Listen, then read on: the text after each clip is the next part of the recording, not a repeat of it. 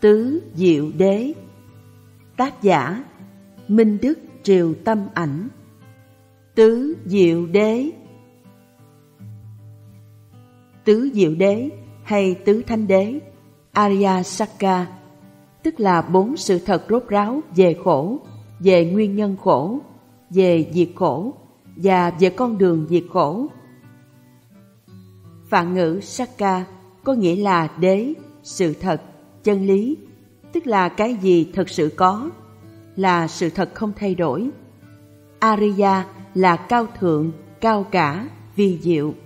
Do vậy, Arya Sakka là chân lý cao cả, là sự thật thù thắng, như chân, như thật, không bị thời gian chi phối, biến đổi.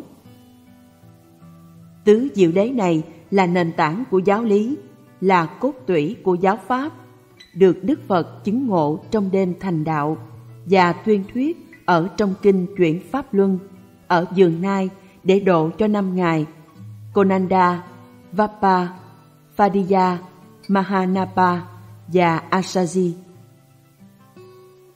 Đức Phật đã tuyên bố như sau Này các thầy tỳ khưu, ngày nào mà tuệ thấy rõ, biết rõ về tứ đế, tuần tự qua ba giai đoạn, thành 12 loại trí tuệ mà Như Lai chưa được hoàn toàn sáng tỏ, thì chừng ấy Như Lai chưa xác nhận rằng là Như Lai đã chứng ngộ chánh đẳng giác. Nay thì tuệ như thực về tứ đế như Lai đã hoàn toàn sáng tỏ. Như Lai tuyên bố rằng Như Lai đã chứng đắc chánh đẳng giác trước thế giới nhân loại, vua chúa, sa môn, bà la môn, luôn cả chư thiên, ma dương và phạm thiên cả thảy. Như vậy, thấy rõ tứ đế, chứng ngộ tứ đế là điều kiện tất hữu để thành Phật, thành A-la-hán hay thành Phật độc giác vậy. Ngoài ra, rải rác trong kinh điển, Đức Phật thường có những lập ngôn như sau. Ai thấy rõ tứ đế là người ấy có chánh kiến, đã vĩnh viễn ly thoát tà kiến. Ai thấy rõ tứ đế, người ấy có đức tin bất động với giáo pháp. Ai thấy rõ tứ đế, người ấy không còn bị vô minh, si mê chi phối. Người thấy rõ tứ đế mới có khả năng giải thoát dòng bọc lưu sinh tử. Tứ đế quan trọng cho tất thảy những người tu Phật, không kể là chư tăng ni, nam nữ cư sĩ của bất kỳ tông hệ Phật giáo nào. Không có tứ đế, không có Phật giáo. Giảng thuyết giáo pháp mà không có tứ đế thì không phải Phật giáo. Xem nhẹ, xem thường tứ đế sao các tư tưởng giáo lý khác là bỏ gốc lấy ngọn, rong chơi trên cành cây, hoa lá. Phỉ bán tứ đế là phỉ bán giáo pháp tinh yếu. Xem người tu tứ đế là căn cơ hạ liệt của nhị thừa, là phỉ bán Phật, hủy bán Pháp, đấy chính là tà thuyết đồng với ngoại đạo. Vậy, để thấy rõ, biết rõ bản chất của sự khổ và thoát ly những khổ đau ấy, chúng ta phải thấy, biết, hiện quán và thực chứng về bốn sự thật ngay nơi chính sự sống của chúng ta đang diễn ra, đang xảy ra chính nơi thực tại hiện sinh này. một, Khổ đế Dukkha Sakka, Sự thật về khổ 2. Tập đế Dukkha Samudaya Sakka, Sự thật về nguyên nhân khổ 3. Diệt đế Dukkha Nirodha Sakka, Sự thật về diệt khổ 4. Đạo đế Dukkha Nirodhamaga Sakka tức sự thật về con đường diệt khổ. A. Khổ đế Dukkha Sakka Kinh Rohitasa Đức Phật dạy Nơi xác thân dài một trượng này cùng với tri giác và tư tưởng Như Lai tuyên bố Thế gian, nguồn gốc của thế gian Sự chấm dứt thế gian và con đường dẫn đến sự chấm dứt thế gian. Danh từ thế gian tức Loka ở đây hàm chỉ về sự khổ, khổ đế. Dầu chư Phật có xuất hiện hay không thì sự khổ ấy vẫn cứ tồn tại, vẫn là cái gì bất di bất dịch từ ngàn xưa đến ngàn sau. Đức Phật không phải là người sáng tạo hoặc khai sinh ra chân lý này. Sự thật ấy là cái có sẵn. Đức Phật chỉ là người trực nhận, khám phá, thực chứng chân lý ấy, rồi đem ra giảng nói cho chúng sanh. Chân lý đầu tiên là khổ đế, Dukkha Sakka. Dukkha là một từ rất khó dịch ra bất kỳ một ngôn ngữ nào khác. Người ta thường dịch Dukkha là đau khổ hay phiền não. Tuy thế, đau khổ hay phiền não cũng chỉ nói lên được một vài thuộc tính, vài tính chất của Dukkha mà thôi. Tương đối trọn vẹn, chính xác và đầy đủ về Dukkha, ta có thể tạm hiểu như sau.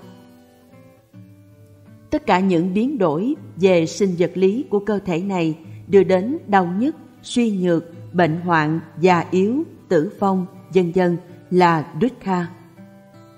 Tất cả những biến đổi, thay đổi các trạng thái tâm lý như thương, ghét, uất ức, sầu muộn, chán nản, tuyệt vọng, hận thù, tức hỉ nộ, ái ố, vân vân đều là Dukkha. Giới nghĩa trừu tượng, triết học thì cái gì khó chịu đựng, khó cam nhẫn là Dukkha. Dut là khó, Kha là chịu đựng. Cái gì đáng kinh miệt, Du và trống rỗng, Kha là Dukkha. Cái gì như hư vô, ảo ảnh, khó nắm bắt, không thực tế, vân vân đều là Dukkha. Nói tóm lại, cô động và chính xác nhất. Vì thế gian vô thường, Anika, vô ngã, Anatta, nên thế gian này là Dukkha. Trong kinh Chuyển Pháp Luân, Đức Phật đã giảng tóm tắt về khổ đế như sau. Này các thầy tỳ khưu, sanh là sự hội họp của ngũ uẩn là Dukkha. Lão là suy nhược, già yếu là Dukkha. Bệnh hoạn, đau ốm là Dukkha. Tử là sự tan rã của ngũ uẩn là Dukkha. Uất ức, bực tức là Dukkha. Thương mà phải xa lìa là Dukkha. Ghét mà phải cùng ở là Dukkha. Muốn mà không toại lòng là Dukkha. Nói tóm lại, thủ ngũ uẩn là Dukkha. Từ đoạn kinh văn trên, người ta đã rút ra được 8 loại Dukkha sau đây. Sanh là Dukkha, lão là Dukkha, bệnh là Dukkha, tử là Dukkha, ái biệt ly là Dukkha, oán tăng hội là Dukkha, cầu bất đắc là Dukkha, thủ ngũ uẩn là Dukkha. Tám Dukkha này là do ngũ uẩn mà có. Tám Dukkha này có mặt là do thủ ngũ uẩn có mặt. Vậy, ngũ uẩn và thủ ngũ uẩn là nguồn gốc của tất cả khổ. Ngũ uẩn ấy có thể tóm tắt như sau. Một, sắc, rupa. Sắc thân này, tấm thân tứ đại một trượng này. Tuy nhiên, ta phải hiểu sắc là gồm có sắc thân cùng cả bảy sắc đối tượng. Sẽ xem kỹ hơn ở bài ngũ uẩn. 2. Thọ, Vedana, tức là cảm thọ, cảm giác. Khi căn, trần giao tiếp với nhau thì phát sanh những cảm thọ. Thân có ba cảm thọ, khổ, lạc, xả, và ý có ba cảm thọ, hỷ, ưu, xả. 3.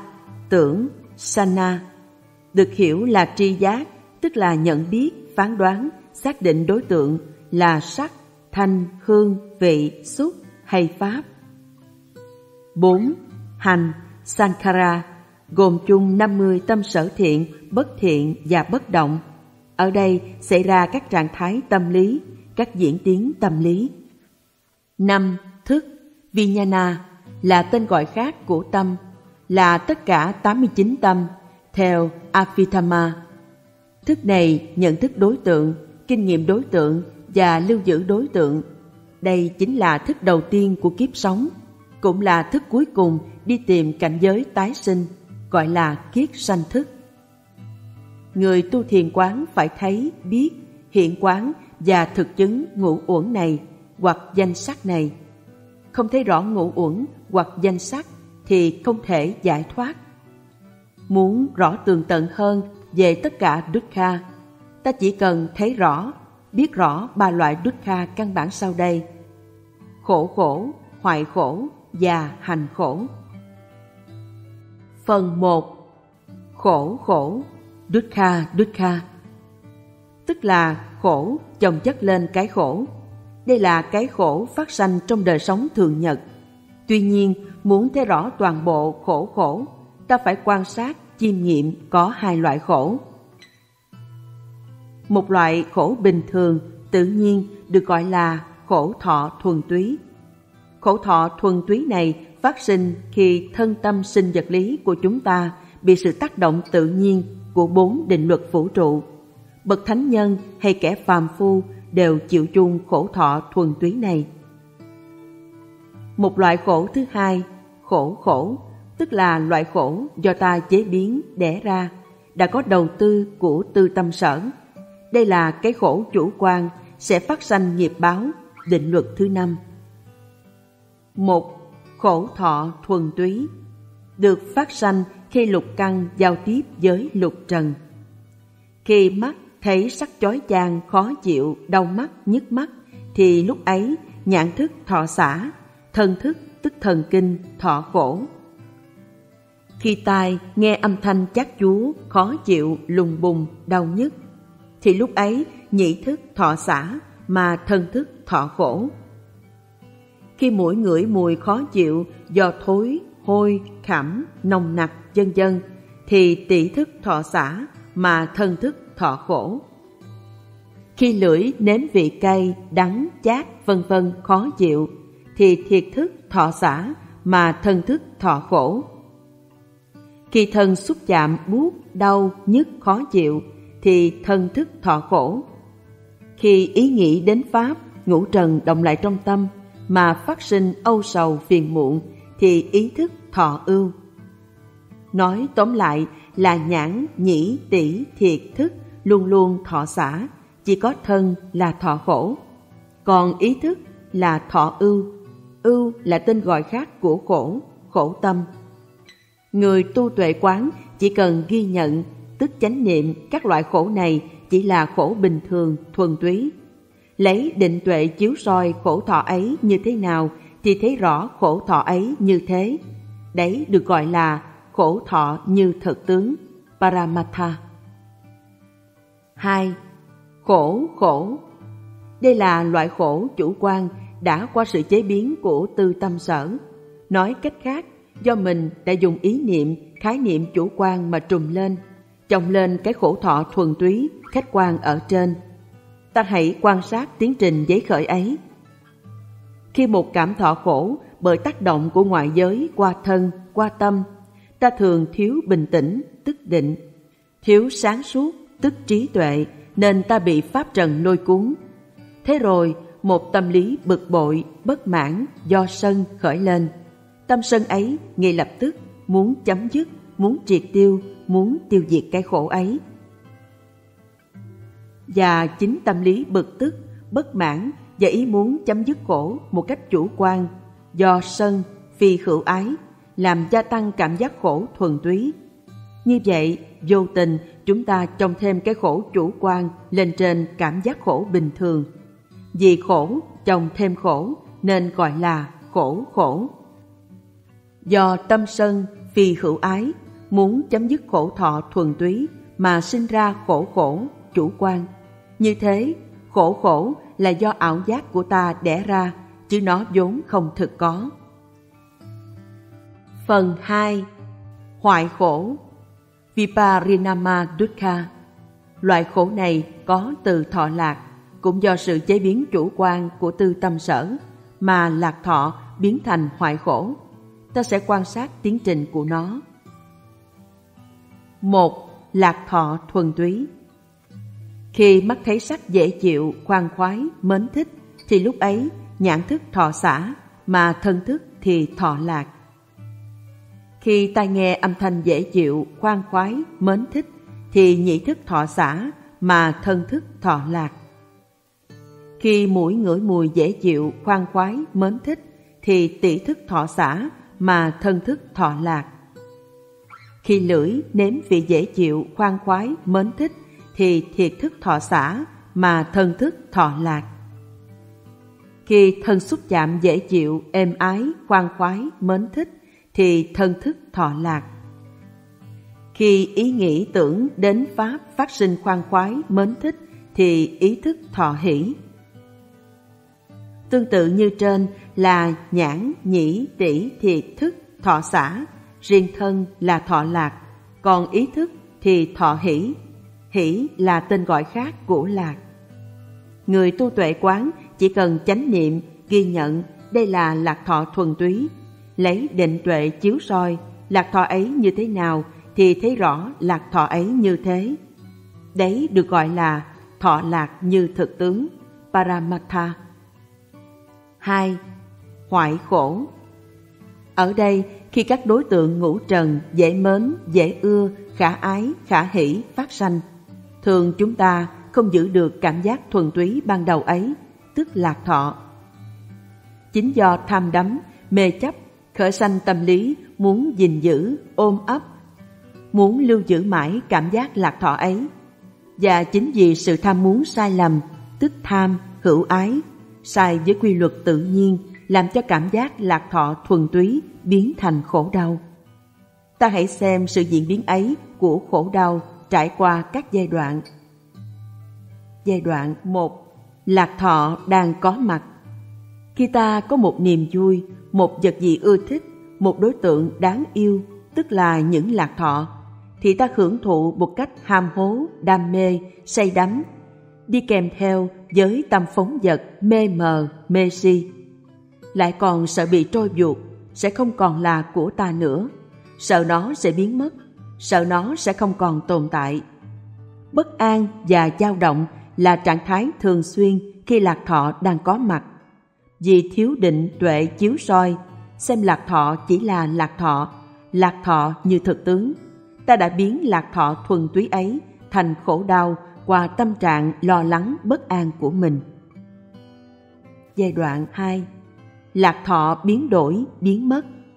Khi có một cái gì, một vật gì khả ái, khả hỷ không còn ở với ta nữa, nó biến đổi, nó mất rồi thì ta sẽ mang cảm giác hụt hẫng, nuối tiếc, sầu muộn. Điều ấy thì trên cuộc đời này ai cũng có thể kinh qua và chiêm nghiệm được cả. Cuộc rượu nào không chơi, niềm vui nào không tàn. Thế nhưng chúng ta thường không thấy rõ để sống đúng với quy luật ấy. Chính do mê đắm, chấp thủ lạc thọ, không nhìn rõ lạc thọ như thực tướng, nên ta đã biến nó thành khổ đau. Giai đoạn 3 Lạc thọ tồn tại quá lâu. Cái đẹp, niềm vui, mùa xuân, dần dần. Giả sử mà nó ở với ta mãi Thì quả là ta sẽ không chịu đựng nổi. Lâu ngày gặp lại người bạn thân thì vui, thì quý. Nhưng nếu người bạn thân ấy cứ ở mãi bên ta không chịu đi thì còn vui, còn quý nữa không? Một đóa hoa rất đẹp Nó cứ nở mãi không chịu tàn thì sao nhỉ? Do vậy, khi lạc thọ tồn tại quá lâu thì ta sẽ chán nản, chán chường. Nói tóm lại, vì tâm lý chủ quan sai lầm do mê chấp tham đắm, không thấy rõ thực tướng của lạc thọ với bản chất là biến hoại đổi khác. Ta đã biến lạc thọ thuần túy thành hoại khổ. Cái khổ này cũng chính do ta đẻ ra, nó vốn không thực hữu. Tham tức hữu ái biến đổi lạc thọ thuần túy thành hoại khổ, nghĩa là tâm tham lam muốn kéo dài lạc thọ thì phát sanh hoại khổ. Phần 3 Hành khổ Sankara Dukkha Có những lúc chúng ta đang ở trong cảm giác bình thường, không lạc, không khổ, gọi là xả. Tuy nhiên, chúng ta thường không ghi nhận chánh niệm đúng như thực tướng là xả thọ. Ở trong xả thọ, chúng ta không thấy, không biết. Chỉ một lúc là chúng ta sẽ thấy buồn chán, trống không, vô dị Thế rồi, do tâm lý không bằng lòng với cảm giác xả, chúng ta thường tìm cách chạy trốn nó, khỏa lấp nó, giết thì giờ trong những cuộc vui, cuộc tiêu khiển khác. Từ đây ta đã biến xả thọ bình thường thành một khổ đau mới, ấy là hành khổ. Chúng ta sẽ quan sát sự diễn biến ấy. một Xả thọ Tâm của chúng sanh thường có hai năng lực chính là lực âm và lực dương. Lực âm là hút và lực dương là đẩy. Khi các đối tượng ngũ trần là khả ái, khả hỷ, khả lạc làm ta ưa thích thì ta muốn ôm níu, chiếm giữ, thủ trước. Nghĩa là muốn hút vào, hút vào là lực âm, là tham, tức hữu ái. Khi các đối tượng ngũ trần là không khả ái, không khả lạc, không khả hỷ, làm cho ta không thích, chỉ muốn từ chối nó, phủ nhận nó, nghĩa là muốn đẩy nó ra. Đẩy ra là lực dương, là sân, phi hữu ái. Tuy nhiên, có những đối tượng ngũ trần, hoặc lúc ấy chẳng có những đối tượng nào của ngũ trần có thể làm cho ta thích, tức lạc hay không thích, tức khổ. Tạo cho tâm ta khởi sanh năng lực hút, tức tham, hay đẩy, tức sân, thì khi ấy được gọi là xả, xả thọ. Nếu không hiện quán xả thọ ấy như thực tướng, thì ta sẽ biến xả thọ ấy thành nỗi khổ đau, thành hành khổ. hai Hành khổ Xả thọ là lúc không vui, không buồn, tâm ta lúc ấy dường như là rỗng không, không chú tâm, không dính mắc một đối tượng nào. Thường tình khi ở trong trạng thái ấy, ta không chịu đựng được lâu. Thế rồi, ta tìm cách khỏa lấp sự trống không ấy bằng cách đi dạo phố chơi, tìm một người bạn để đi uống cà phê, nghe nhạc, tìm thú vui chén rượu, canh bạc, đi mua sắm, tìm một công việc gì đấy để làm như làm giường, dọn dẹp nhà cửa, quét sân, vân vân. Đọc sách, tham thiền, đánh cờ, tìm bạn để đàm đạo, đến chùa, dạo cảnh, ngắm hoa, viết truyện, làm thơ, vẽ tranh, vân vân. Sự giải trí ấy thiên hình dạng trạng, nhưng nói chung, người cao nhã thì tìm thú vui thanh cao, người thấp thỏi thì đi tìm thú vui hạ liệt. Tùy theo tâm mà tìm cảnh. Dường như ai cũng không chịu đựng nổi trạng thái trống không nên muốn lăng xăng tìm kiếm thú vui tinh thần hoặc vật chất.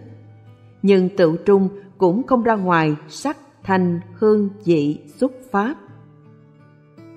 Chính tâm lý lăng xăng tìm kiếm này làm cho ta dao động bất an. Cứ khao khát muốn tìm sự thỏa mãn mới nên đã tạo nên nỗi khổ gọi là hành khổ, Sankara Dukkha. Hành tức là tâm tạo tác do điều kiện căn và trần, do không thấy rõ biết rõ, tức si, để hiện quán cảm giác xả này chính là cảm giác thực. Xả thọ như thực tướng, nên si mê kéo ta đi, lăng xăng tạo tác, rồi bị ảo giác này chi phối, thao túng, dẫn dắt, điều động. Vậy, do si chi phối nên biến xả thọ thành hành khổ. Nói tóm lại, ba loại khổ gồm khổ khổ, hoại khổ và hành khổ. Đối với người trí tuệ thì chúng không phải là cảm giác thực mà chỉ là ba ảo giác phát sanh từ ba ảo tưởng tham, hữu ái, sân, phi hữu ái và si, dục ái. Nếu không thấy biết thực quán và thực chứng lạc, khổ, xả là ba cảm giác thực, phát sinh theo căn duyên và trần, chúng vốn bị chi phối bởi những định luật tự nhiên của tâm sinh vật lý, thì ba ảo tưởng tham sân si sẽ đẻ ra ba ảo giác hoại khổ, khổ khổ và hành khổ, tức khổ đế, rồi nhận chìm chúng ta trong dòng chảy xiết của bọc lưu sinh tử, khổ đau và phiền não. B. Tập đế Dukkha Samudaya Sakka Tập đế là sự thật về nguyên nhân khổ. Tất cả những cái như khổ sanh, khổ già, vân vân trong tám khổ, cho đến những hoại khổ, khổ khổ và hành khổ đều có một nguyên nhân chung nhất. Cái đẻ ra, cái sinh ra tất cả khổ ấy chính là vô minh và ái dục. Vậy vô minh và ái dục chính là tập đế. Chúng ta hãy xem thử vô minh và ái dục có tính chất và hành tướng như thế nào. Phần 1. Vô minh Avicca là tình trạng tâm trí si mê không sáng suốt không tỉnh thức, không tự giác, quên mình hoặc không tự biết mình. Tuy nhiên, đấy mới chỉ là định nghĩa về quả, chứ không phải định nghĩa về nhân. Vì cái làm cho chúng ta không sáng suốt, không tỉnh thức mới chính là nguyên nhân che lấp, che mờ tâm trí. Nếu vô minh có quả là tính chất, thì nhân chính là hành tướng. Hành tướng ấy thường xuất hiện dưới ba dạng chính sau đây. một Hôn trầm thụy miên Đây là trạng thái mệt mỏi, giả dưỡi cả thân lẫn tâm. Hôn trầm là thờ ơ, lãnh đạm, đảng trí, buông xuôi, biến nhát, tiêu cực, thụ động, vô ký, tức không ghi nhận, vân vân, chi phối các tâm sở. Thủy miên là cảm giác lừ đừ, buồn ngủ, mê ngủ, vân vân. 2. Trạo hối gồm trạo cử và hối quá. Trạo cử, nghĩa đen, trạo là lay động, cử là cất lên, nhúc nhích. Về trạo cử là trạng thái tâm dao động, hưng phấn quá, suy nghĩ phẫn phơ, phóng tâm, vọng tưởng, hoang tưởng, mơ mộng tương lai, cuốn theo hiện tại. Hối quá là tiếc nuối dĩ vãng, tưởng nhớ quá khứ, ăn năn những việc đã qua. Nếu chánh niệm tỉnh giác là ghi nhận, rà soát, nắm bắt, chú tâm rốt ráo trên đối tượng, thì hôn trầm, thủy miên là chìm dưới đối tượng, động dưới đối tượng, ngủ dưới đối tượng. Trạo hối là phóng trên đối tượng, là ra ngoài đối tượng, trượt trên đối tượng, bồng bềnh, lang thang trên đối tượng. 3. Nghi là trạng thái phân dân, lưỡng lự, do dự, bất nhất, bất quyết, ngần ngại, ngờ vực, hốt quảng, không định hướng. Nói tóm lại, chính ba trạng thái này che mờ, chi phối và làm cho ta đánh mất sự tỉnh thức, sáng suốt. Vậy, cả nhân và quả của vô minh ấy làm cho chúng sanh lăng xăng, tạo tác, sinh ra tất cả khổ trần gian. Đêm thành đạo, khi chứng tuệ giác thứ ba là lậu tận minh, Đức Phật đã dán mở màn vô minh này, đã tìm ra căn nguyên của tất cả Dukkha. Và đêm cuối cùng trong bảy ngày đầu tiên sau khi chứng quả, Đức Phật đã minh sát về thập nhị nhân duyên như là tiến trình sinh diệt của tập đế. Ngài thấy rõ biết rõ, tùy thuộc vô minh, hành phát sanh. Hành là những tạo tác thiện, bất thiện, bất động. Nó gồm đủ 50 tâm sở, theo Avithama, là tên gọi khác của ái, thủ và khửu. Xem thập nhị nhân duyên Phần 2. Ái dục Ái dục là gọi chung cả tham, sân si hay khửu ái, phi hữu ái và dục ái. Đây là những lòng ham muốn sai lầm, không đúng với quy luật đích thực của sự sống. Do thiếu sáng suốt, thiếu tỉnh thức, do bị vô minh chi phối, chúng ta không thấy rõ sự thật nên đã tạo tác những hành nghiệp qua thân, khẩu, ý, bập bênh trôi lăn mãi giữa đại dương sinh tử khổ đau không thực có. Không thực có vì tham tức hữu ái, sân phi hữu ái và si dục ái chính là ba ảo tưởng đẻ ra ba ảo giác là khổ khổ, hoại khổ và hành khổ. Ta hãy xem những ham muốn sai lầm tức là ba ảo tưởng ấy. Một, tham, khửu ái. Phava tăng hà là lòng tham muốn, tham đắm, ưa thích, yêu thích, muốn chiếm hữu, muốn giữ lại, muốn lưu lại những đối tượng khả ý, khả ái, khả lạc. Đây chính là những ham muốn sai lầm. Tại sao vậy? Vì tất cả các pháp thuộc nhiên giới, tâm giới hay pháp giới, chúng đến hay đi, sinh hay diệt, đều tuân thủ theo luật tắc của chính nó. Ta không thể áp đặt tình cảm, tâm lý chủ quan lên ngoài giới, các đối tượng chim quan. Thấy một đóa hoa đẹp, ta thích, ta muốn lưu giữ mãi đóa hoa ấy, vậy là sai lầm, vì đóa hoa kia rồi sẽ tàn. Thấy một buổi chiều thu, sắc trời, sắc nước, khói sương thật ngoạn mục. Tuy nhiên, ta không thể lưu giữ mãi cảnh sắc ấy, vì hoàng hôn sẽ đến, đêm sẽ về. Cũng tương tự thế là tuổi thanh xuân, sắc đẹp, vợ hiền, con thảo, món ăn ngon hạnh phúc ấm êm, dân dân. Tất cả đều bị chi phối bởi các định luật. Tất cả rồi đều phải bị vô thường biến đổi, sẽ biến đổi dạng và thay đổi chất. Chẳng có cái gì, pháp nào giữ nguyên vị trí, sẽ ở mãi với ta do lòng yêu thích của ta được. Vì ý tưởng, ước muốn lưu giữ, chiếm giữ ấy trái với quy luật tự nhiên, không thực sự có giữa tự nhiên, nên tham ấy chỉ là ảo tưởng vậy. 2. Sân, phi hữu ái, vi pha và tanha là tâm lý bực tức, bất mãn, chán ghét, oán hận, khó chịu khi đối diện với một hiện tượng không vừa lòng, không thích ý với ta. Điều ấy có đúng chăng hay chỉ là một tâm lý sai lầm khác nữa? Cái nóng cháy da, cái lạnh buốt xương, cơn lũ tàn hại, cơn bão quá quắt, mặc dù ta không thích nhưng nó vẫn đến đi sinh diệt theo định luật của đất trời. Những người dễ ghét, khó ưa, ta không thích đấy, nhưng họ vẫn tồn tại ở thế gian, vẫn có mặt ở xung quanh ta. Một hoàn cảnh xã hội, một môi trường sống chân dân dường như luôn luôn trái ý nghịch lòng với ta. Dù có ghét bỏ, chối từ, thì đi đâu để tránh khỏi cái bất toại nguyện ấy? Có thể nào con người, thế giới chung quanh ta, với sự vận hành của biệt nghiệp, cộng nghiệp, vận hành tâm, cảnh, quan niệm, tính tình sở thích, lại không tạo nên sự xung đột bất khả lạc, bất khả hỷ như là cái tất yếu của muôn đời. Tất cả đấy là muốn vừa lòng theo ý ta, không là một ảo tưởng điên rồ sao? Vậy thì ý tưởng muốn chấm dứt, muốn công phá, chối bỏ, triệt tiêu những đối tượng bất nghịch ý là trái với định luật tất yếu của dạng hữu. 3. Si, dục ái, kama tanha là trạng thái tâm mê mờ, đần độn, thường hay phóng vật, dao động, nghi hoặc, vọng tưởng, hoang tưởng. Không chỉ ngũ trần hiện tại mà cả quá khứ và tương lai.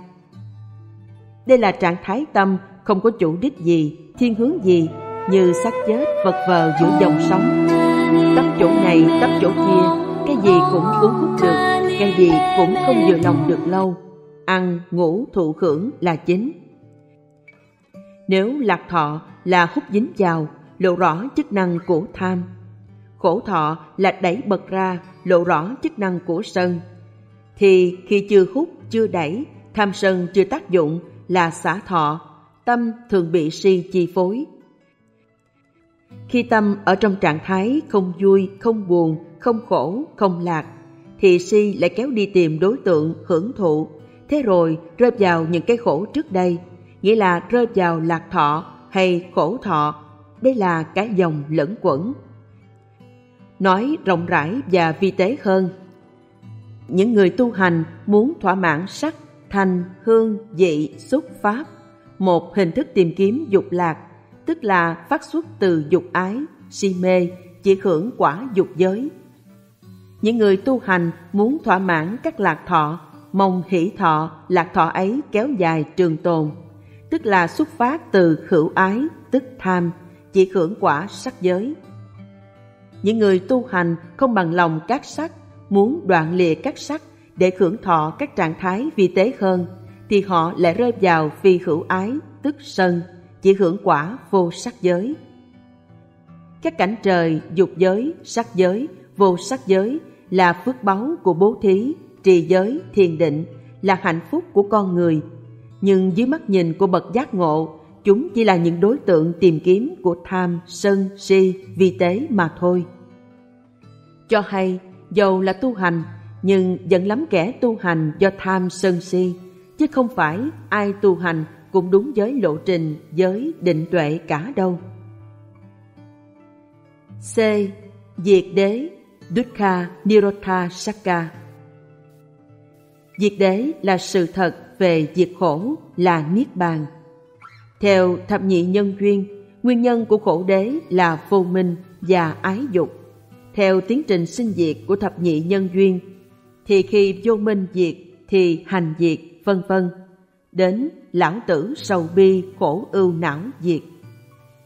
Như vậy, diệt đế là diệt tất cả sầu bi khổ ưu não, chứ không phải diệt đế niết bàn là khư vô như nhiều người lầm tưởng Diệt đế là dập tắt tất cả mọi ảo tưởng, tức tập đế, thì ảo giác, tức khổ đế, sẽ không còn. Tập đế là nhân, khổ đế là quả. Diệt nhân là quả sẽ mất. Có người tu tập cố dùng đạo đế để đối trị và diệt lần lần khổ đế. Như vậy là sai lầm. Ta không thể diệt quả được.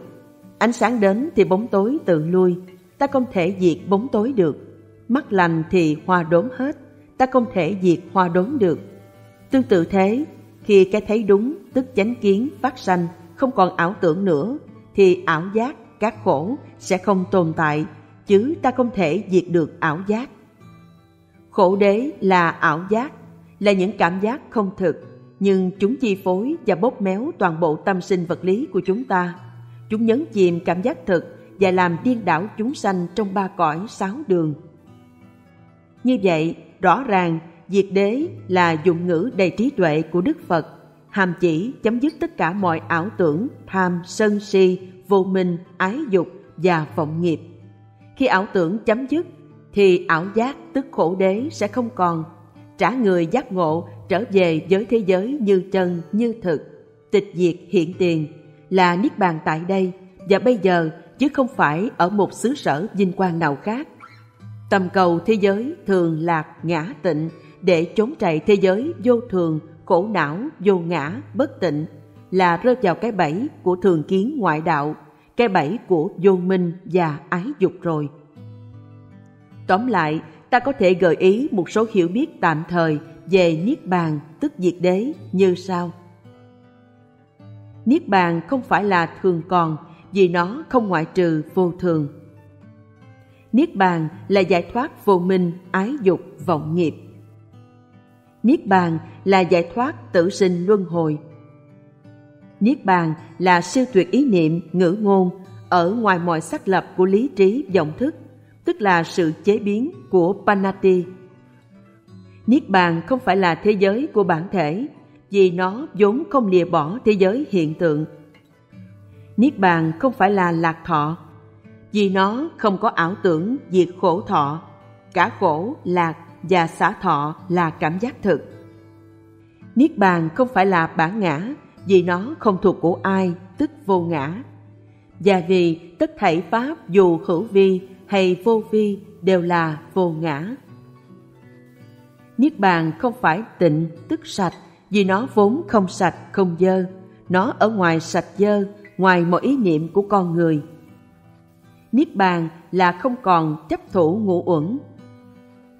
Niết bàn là chấm dứt tất cả phiền não, khổ đau. Vậy, rốt ráo và chính xác nhất, đạo phật là đạo diệt khổ mà mỗi người có trí có thể chứng nghiệm trong lòng mình hệ xác lập niết bàn là gì xem chừng đấy chỉ là trò chơi của lý trí vọng thức dễ rơi vào tà kiến muôn đời của ngoại đạo D. Đạo đế Dukkha Nirothama Gassaka Đạo đế là sự thật về con đường diệt khổ, là tu tập theo bát chánh đạo. Tu tập theo bát chánh đạo là đủ.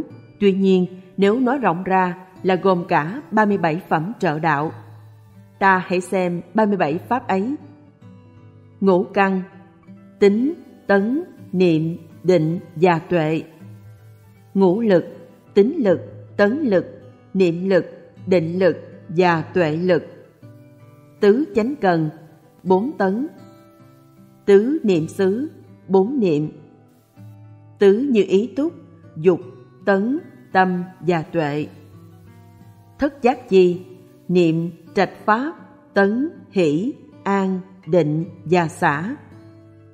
Bát chánh đạo, kiến, tư duy, ngữ, nghiệp, mạng, tấn, niệm và định. Như thế, 37 pháp ấy gồm có 9 tấn, 8 niệm, 4 định, 2 tính, 1 tư duy, một hỷ, một an, một xả, một ngữ, một nghiệp, một mạng, một dục và một tâm. Tuy nhiên, nếu phân tích thêm nữa thì 37 phẩm trợ đạo đều có đầy đủ ở trong bát chánh đạo. Chánh kiến và chánh tư duy thuộc trí, tức tuệ phần, trong đó có năm tuệ, trạch pháp thuộc tuệ và một tư duy. Chánh ngữ, chánh nghiệp, chánh mạng thuộc thân, tức giới phần, trong đó có một ngữ, một nghiệp và một mạng. Chánh tinh tấn, chánh niệm, chánh định thuộc tâm, tức định phần, trong đó có chín tấn, tám niệm và bốn định. Còn các pháp khác không cần thiết, vì khi tu tập đã có tính, và trong tấn, niệm, định vốn đã có dục, tâm, hỷ, an, xã, và rút gọn hơn nữa, còn giới, định và tuệ. Tu tập giới, định, tuệ chính là tu tập 37 trợ đạo phẩm. Phần 1 Con đường tu tập Đạo đế là con đường tu tập chứ không phải là pháp môn tu tập, lại càng không phải là pháp môn phương tiện. Pháp môn tức là phương pháp tu. Nói phương pháp tu có nghĩa là có một phương cách tu, tu theo một công thức sẵn có. Phương pháp, phương cách, công thức là cái quy định sẵn. Có phương pháp quy định tức là có lập trình. Có lập trình có thể giải mã để tìm ra nghiệm số. Nó không phải là một công thức vật lý, không phải là một phương trình toán học. Giác ngộ là một bài toán tâm linh, nhưng không có một công thức, một phương pháp nào để giải mã được cả. Pháp môn phương tiện lại càng sai lầm. Tu theo phương tiện nhằm đạt cứu cánh. Phương tiện và cứu cánh thường diễn tiến theo nhân, quả và thời gian. Đạo đế không phải là tu dần dần tức tiệm tu mà được.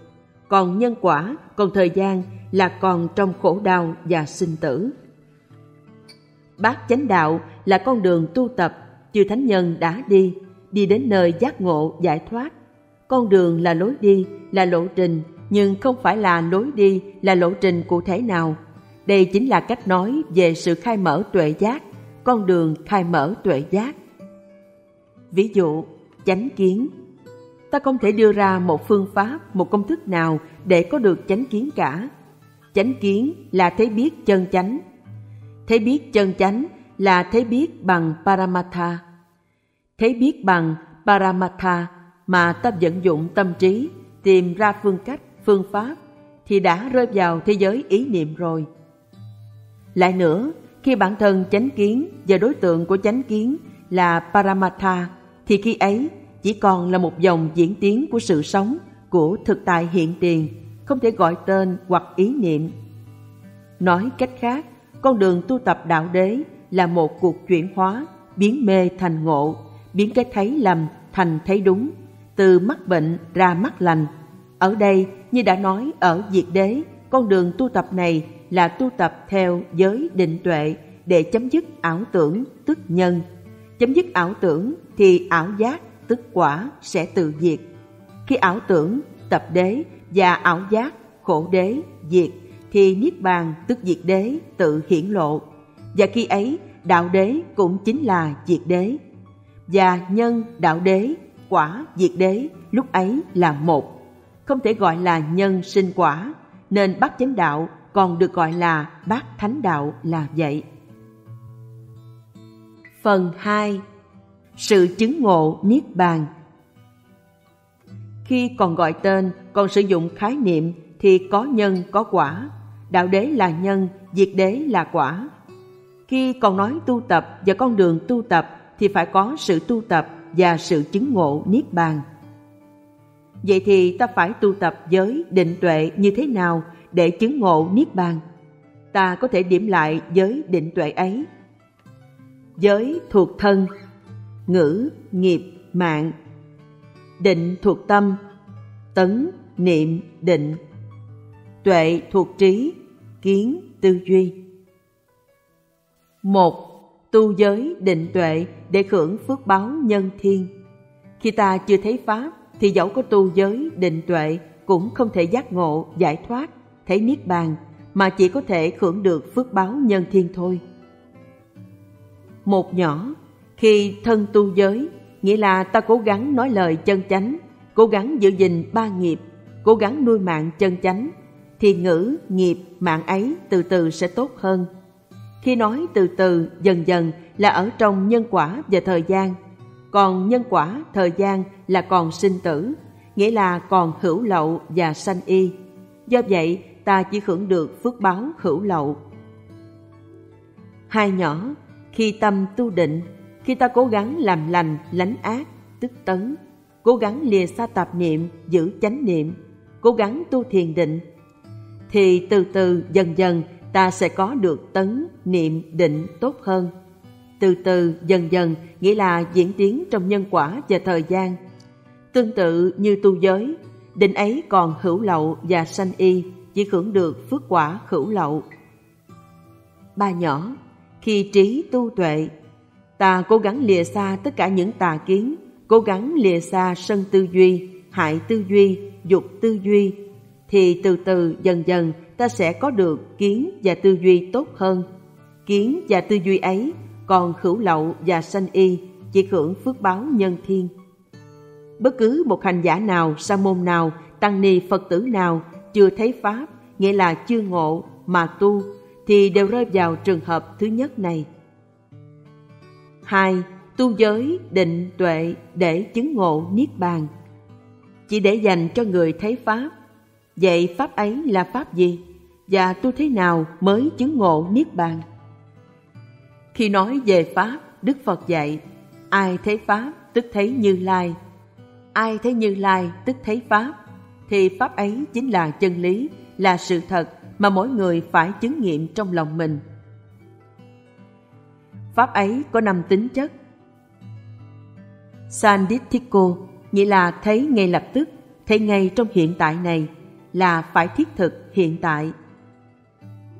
Akaliko là vượt ngoài giới hạn của thời gian, không bị nhân quả chi phối. Ehi Pasico nghĩa là đến đây mà thấy, quay đầu là bến. Opanayiko là dừng lại trên chính mình, là bước trên đất thực, chú tâm, chánh niệm. Passatam về nhiêu khí là tự chứng, tự ngộ. Như vậy, trong cái thấy giác ngộ, sự thật hiện ra lập tức, không ở trong nhân quả và thời gian, phải ở tại đây và bây giờ, ở chính nơi tấm thân một trượng này cùng với cảm giác và tư tưởng tức ngũ uẩn, nghĩa là ở trong dòng chảy của tâm sinh vật lý này. Tu giới định tuệ để chứng ngộ niết bàn thì ta phải hiểu rằng giới là đại biểu cho ngữ, nghiệp, mạng, định là đại biểu cho niệm và định, tuệ là đại biểu cho kiến và tư duy. Tuy nhiên, lác đác trong kinh điển, Đức Phật nói, tinh tấn, chánh niệm, tỉnh giác thì ta phải hiểu là nó gồm đủ bát chánh đạo. Vì tinh tấn là ngăn ác làm lành, đại biểu cho nhóm giới trong lành. Chánh niệm là đi đến định, đại biểu cho nhóm định, định tĩnh. Tỉnh giác là đại biểu cho nhóm tuệ, tức sáng suốt. Rút gọn hơn nữa, chỉ còn niệm và tỉnh giác, vì trong niệm và tỉnh giác đã có tinh tấn. Đến đây, hành giả sử dụng niệm tỉnh giác để quán thân, thọ, tâm, pháp, tức tứ niệm xứ, quán ngũ uẩn, thập nhị nhân duyên, vân vân. Trên lộ trình tuệ quán này, bắt đầu là tuệ, thấy rõ danh sắc, hành giả lần lượt phá tan ảo giác về ngã, về thực hữu của cái ta. Rồi từ đấy, sự thật của Pháp dần dần tỏ lộ. Con đường thực chứng tam tướng gồm vô thường, khổ và vô ngã để thấy rõ Niết Bàn là độc lộ, độc đạo, không có bất kỳ một lối đi nào khác ngoài lộ trình đã dẫn. Thấy rõ tam tướng, sự thật của Pháp mới chấm dứt được ba ảo tưởng, đồng thời chấm dứt luôn ba ảo giác. Đạo đế khi ấy chính là diệt đế. Và ngay cả khi khổ đế, tập đế được thấy như chân như thật, thì tất cả đều trở thành như thật như chân. Tất cả đều diễn tiến trong cái đang là. Do vậy, tu tập đạo đế, tức nhân, để chứng ngộ diệt đế, tức quả, là cách nói của thường ngữ, của thế tình. Trong cái thấy toàn diện có định tuệ chiếu soi, thì tất cả đều hiện ra như thực tướng. Đạo đế do vậy là con đường ở đây và bây giờ, có cái nhìn thấu thị, xuyên suốt các giả tướng mê vọng để trả tất cả về giới thế giới như chân như thực, Paramatha, không còn bị trôi lăn bởi ảo tưởng, ảo giác, tức khổ, tập, của thế giới khái niệm Panyati để đắm chìm giữa đêm dài sinh tử khổ đau. Phần chú giải một Tuệ tri, tức tri như thực hai Tứ đế có khổ tập diệt đạo. Mỗi đế có ba giai đoạn, nhân cho bốn thành mười hai tuệ như sau. Khổ, tuệ tri, đây là khổ, khổ phải được thấy, khổ đã thấy. Tập, tuệ diệt, đây là nguyên nhân khổ, phải được tận diệt, đã tận diệt. Diệt, tuệ chứng, đây là diệt khổ, phải được chứng ngộ, đã được chứng ngộ. Đạo, tuệ hành, đây là đạo diệt khổ, phải được thực hành, đã thực hành. 3. Chỉ về ngũ uẩn, gồm sắc, thọ, tưởng, hành, thức. 4. Chịu khó xem lại năm định luật của vũ trụ trong bài Nhân quả nghiệp báo cùng tác giả. 5. Trong ngũ quan, mắt, tai, mũi, lưỡi, thân. Khi giao tiếp với ngũ trần, sắc, thanh, hương, vị, xúc, phát sanh khổ, lạc thọ thì khổ. Lạc thọ ấy đều do thân cảm giác bởi các đầu dây thần kinh. 6. Thực là cái đang vận hành, đang xảy ra, đang diễn tiến trong dòng chảy tâm sinh vật lý. 7. Nghi Nghi trong thiền định và nghi trong đời sống tu tập thường nhật, tính chất giống nhau nhưng hành tướng thì khác nhau. Nghi trong thiền định là có thể nghi ngờ đề mục, nghi ngờ khả năng mình hoặc khởi nghĩ lung tung nên tâm bị phân tán, phóng dật, không an trú được. Nghi trong đời sống tu tập thì nội dung rộng lớn hơn, nhưng tự trung, nghi nhiều thì đức tin sụt giảm hoặc mất hẳn. Tuy nhiên, có một cái nghi khác nữa. Cái nghi của bậc trí là không dễ dàng tin theo những gì, vân vân như bài kinh Kalama thì nó lại khác. Thiền tông còn có lập ngôn, đại nghi thì đại ngộ. Hai loại nghi sau không phải là nghi trong bài viết. 8. Có người đưa ví dụ nước và sóng. Nước là bản thể, sóng là hiện tượng. Phật tánh là bản thể, tức nước. Nên thường vắng lặng, thanh tịnh. Chúng sanh là hiện tượng, tức sống, nên nhấp nhô, chìm nổi. Trở về với Phật tánh là trở về với bản thể thường thanh tịnh ấy. Đây cũng là cái bẫy của thường kiến. 9. Sử dụng nghĩa chánh kiến theo cái hiểu xưa nay. Thật ra, Samadhi mà dịch là chánh kiến rồi hiểu là thấy biết chân chánh thì không diễn đạt được trọn vẹn từ Sama. Nó không chỉ có nghĩa là thấy đúng, thấy chân, thấy chánh, thấy thực mà còn có nghĩa là thấy toàn diện, thấy triệt để, thấy viên mãn, thấy trọn vẹn, như chân, như thực nữa. Ở đây thấy thuộc phạm trù tuệ giác sẽ trình bày rõ ràng hơn trong bài Bát Chánh Đạo. Thực hiện bởi Trung tâm Diệu Pháp Âm Văn phòng Chùa Khuôn Việt 1355 đường Hoàng Sa, phường 5, quận Tân Bình, thành phố Hồ Chí Minh. Chùa Diệu Pháp 72 trên 14, Phú Mỹ, xã Phú Hòa Đông, huyện Củ Chi, thành phố Hồ Chí Minh. Điện thoại 028 3620 8438. Website diệu pháp âm.net. Kênh YouTube youtube.com trên diệu pháp âm. Tứ vô lượng tâm Tứ vô lượng tâm là bốn tâm vô biên, vô lượng, không có ngàn mẻ bao trùm tất cả chúng sanh. Tứ vô lượng tâm còn được gọi là bốn phạm trú, vì khi tu tập thành tựu bốn tâm này rồi, sẽ cùng ở chung tức cộng trú với Phạm Thiên, sẽ có đời sống phẩm hạnh cao cả thanh tịnh. Tứ vô lượng tâm đó là tâm từ, tâm bi, tâm hỷ và tâm xả.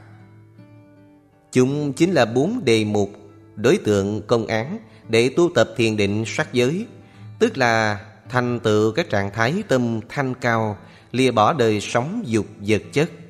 Nói cách khác, bốn tâm vô lượng này sẽ không được an trú nếu như các trạng thái tâm tham, sân, các tâm sở bất thiện cũng như các triền cái chưa được yên lặng. Tứ vô lượng tâm chỉ thật sự có mặt trong nội tâm của người khéo tu tập, tinh cần và miên mật công phu thiền định vậy. A. Tâm từ Tâm từ là lòng từ ái, thiện ý, thiện ái, hảo tâm, bác ái, nhiều tình thương, vân vân. Dù với nghĩa nào đi nữa thì dường như vẫn không mô tả được cái cốt lõi tinh túy chân nghĩa của tâm từ. Người ta cũng thường nói rằng tâm từ là tình thương quảng đại rộng lớn, bao trùm thiên nhiên, người vật, cây cỏ. Định nghĩa ý tương đối chính xác nhất. Tuy nhiên mong rằng tình thương ấy không phải là lòng triều mến, không phải là ái trước, không phải bắt ta suốt ngày thương tưởng, không phải để ta thể nhập đồng hóa, chan hòa với chúng sanh, hoặc thấy ta với chúng sanh là một. Tâm từ là tình thương quảng đại rộng lớn, nhưng là cái gì làm cho ta và chúng sanh cùng êm dịu mát mẻ, là năng lượng từ hòa thấm nhuần cả không gian, người, vật và cây cỏ. Nó bao trùm đồng đẳng chứ không riêng biệt cho một ai. Nó bao la, mênh mông, với chân thành ước mong cho tất cả chúng sanh đều được yên vui, sức khỏe, trường thọ và hạnh phúc.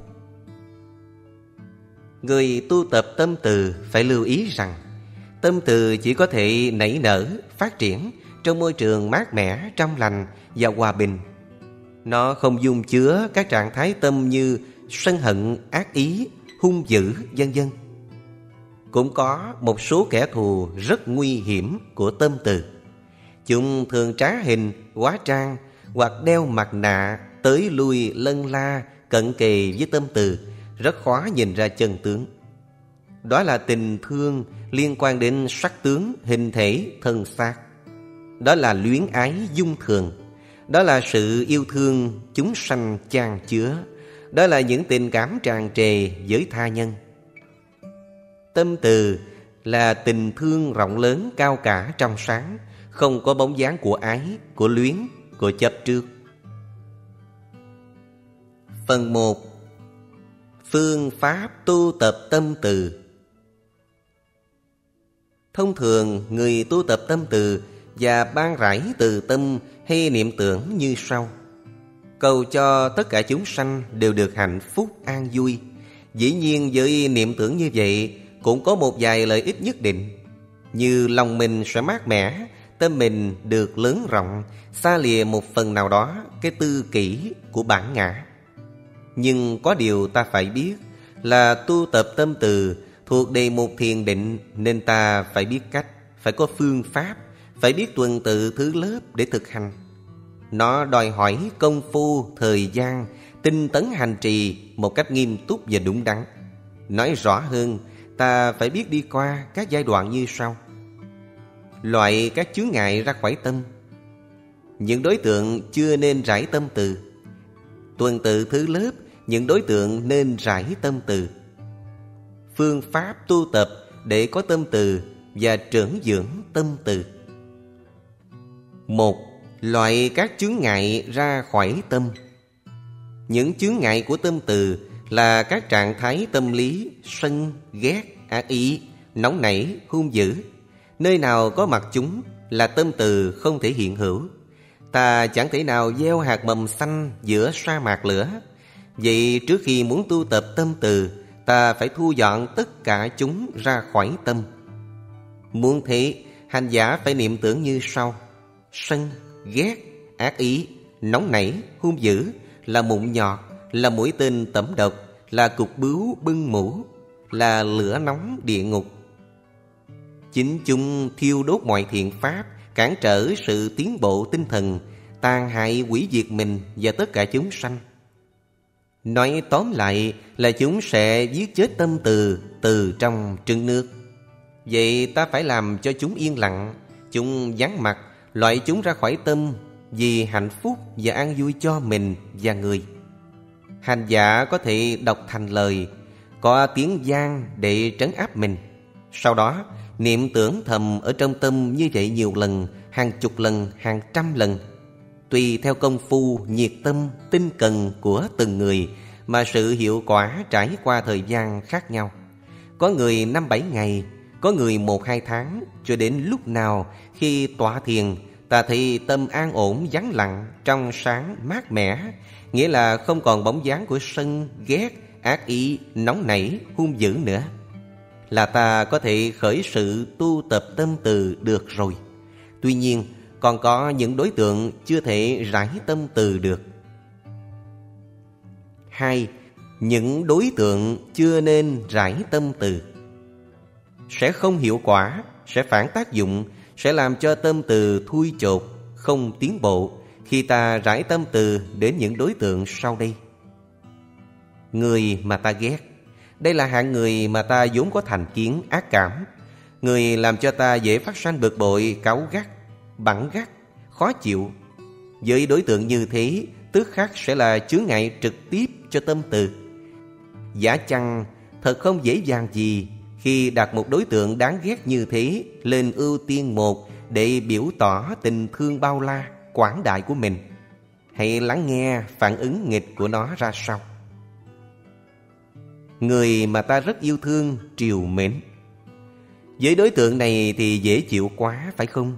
Nếu ta đặt đối tượng dễ chịu này vào tầm ngắm, thì tâm từ sẽ thương ngay lập tức, sẽ dính đề mục trong một sát na và sự yêu thương triều mến kia sẽ tăng cường độ áp sát, dính mắt, làm cho tâm từ không nỡ rời bỏ, rồi phát sanh ái luyến nặng nề, rất nguy hiểm vậy. Người mà ta không thương, không ghét, tức là người ta thường dững dưng. Với đối tượng này mà bắt ta khởi tâm từ thì rất khó, rất mệt lòng. Nếu có nỗ lực, cố gắng thương thì cũng phải trải qua thời gian rất lâu dài. Người thiếu trì chí sẽ rất dễ nản lòng.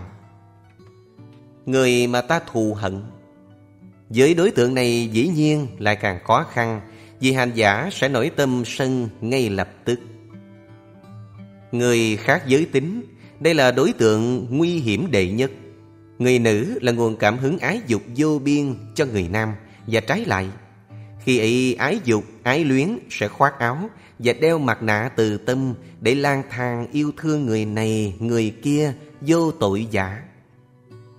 Người đã chết, với đối tượng này mà tu tập tâm từ sẽ không có hiệu quả, sẽ không tiến triển được chút gì, sẽ hoài công vô ích. ba Tuần tự thứ lớp những đối tượng nên rải tâm từ. Trước tiên, tâm từ phải được rải đến chính mình phải có từ tâm với chính mình trước khi rải từ tâm đến kẻ khác. Tuy nhiên, ta và người khác phải bình đẳng nhất như trong làng khí của tâm từ, sự tu tập mới có hiệu quả. Nếu ta không hiểu điều ấy mà cứ niệm, mong rằng tôi được an lạc hạnh phúc, mong rằng tôi thoát khỏi hận thù oan trái và sống trong hạnh phúc an vui, thì dù niệm một trăm năm, một ngàn năm cũng không đắc định. Ngược lại, ta niệm mong rằng người ấy được an lạc hạnh phúc thì tâm từ cũng không thành tựu.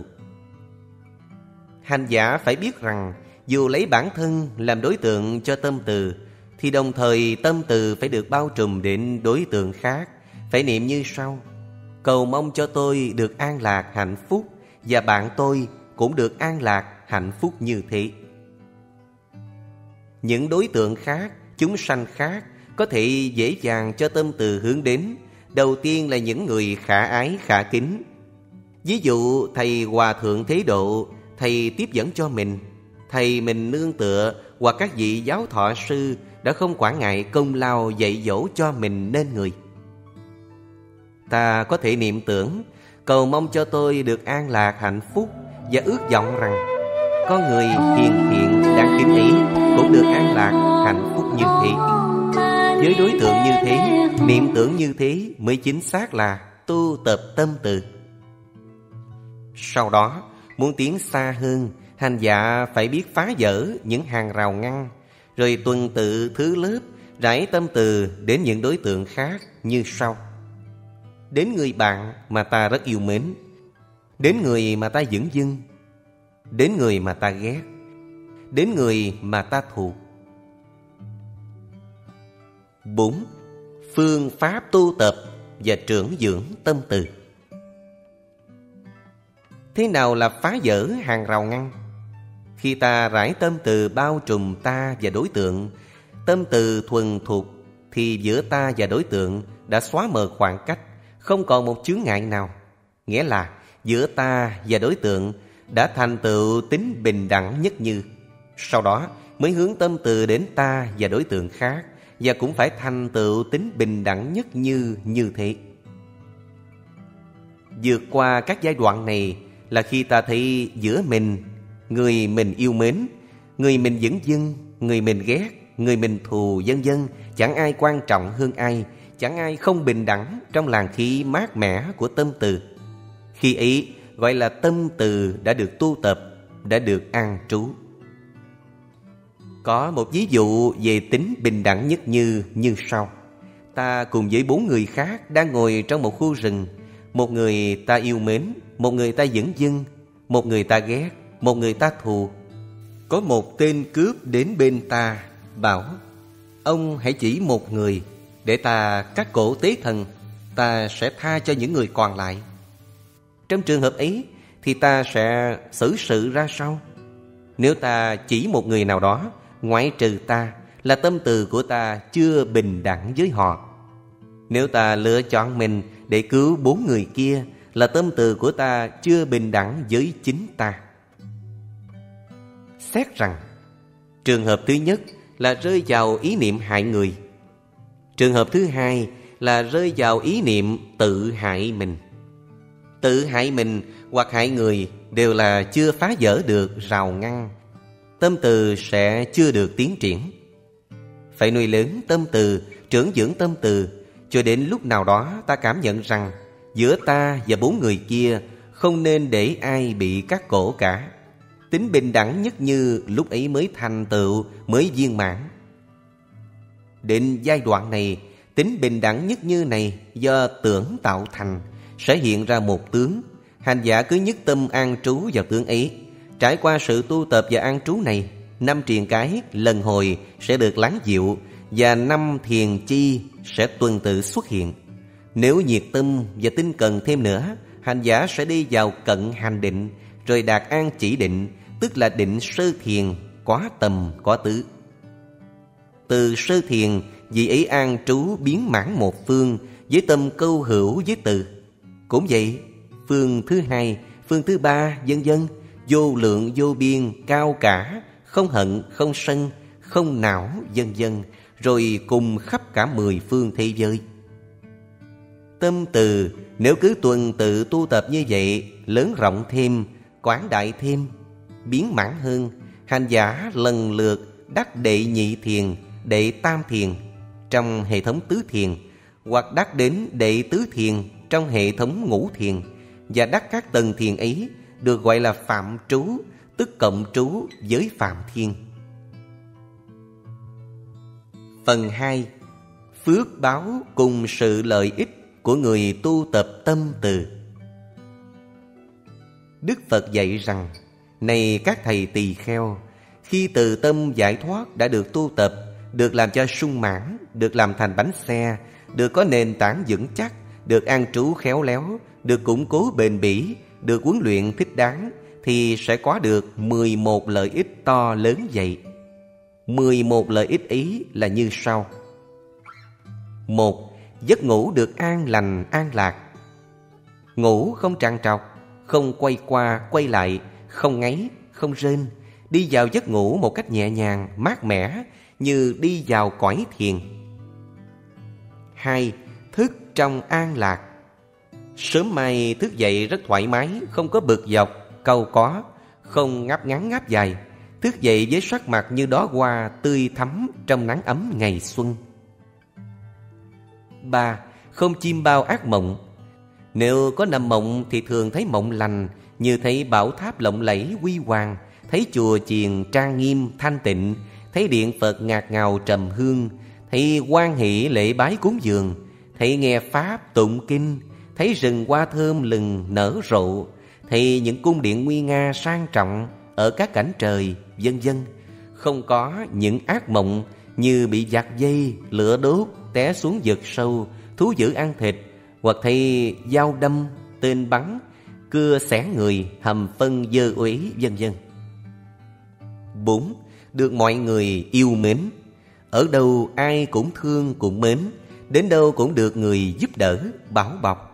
Không có người ghét kẻ thù năm Được phi nhân ưa thích Phi nhân là không phải người Có thể là các loại địa tiên, thọ thần, Atula, dạ xoa Người có tâm từ ở đâu là xung quanh đó đều được mát mẻ an lành các loài phi nhân ở xung quanh được hưởng không khí hòa bình an lạc nên thường được chúng quý trọng, mến yêu.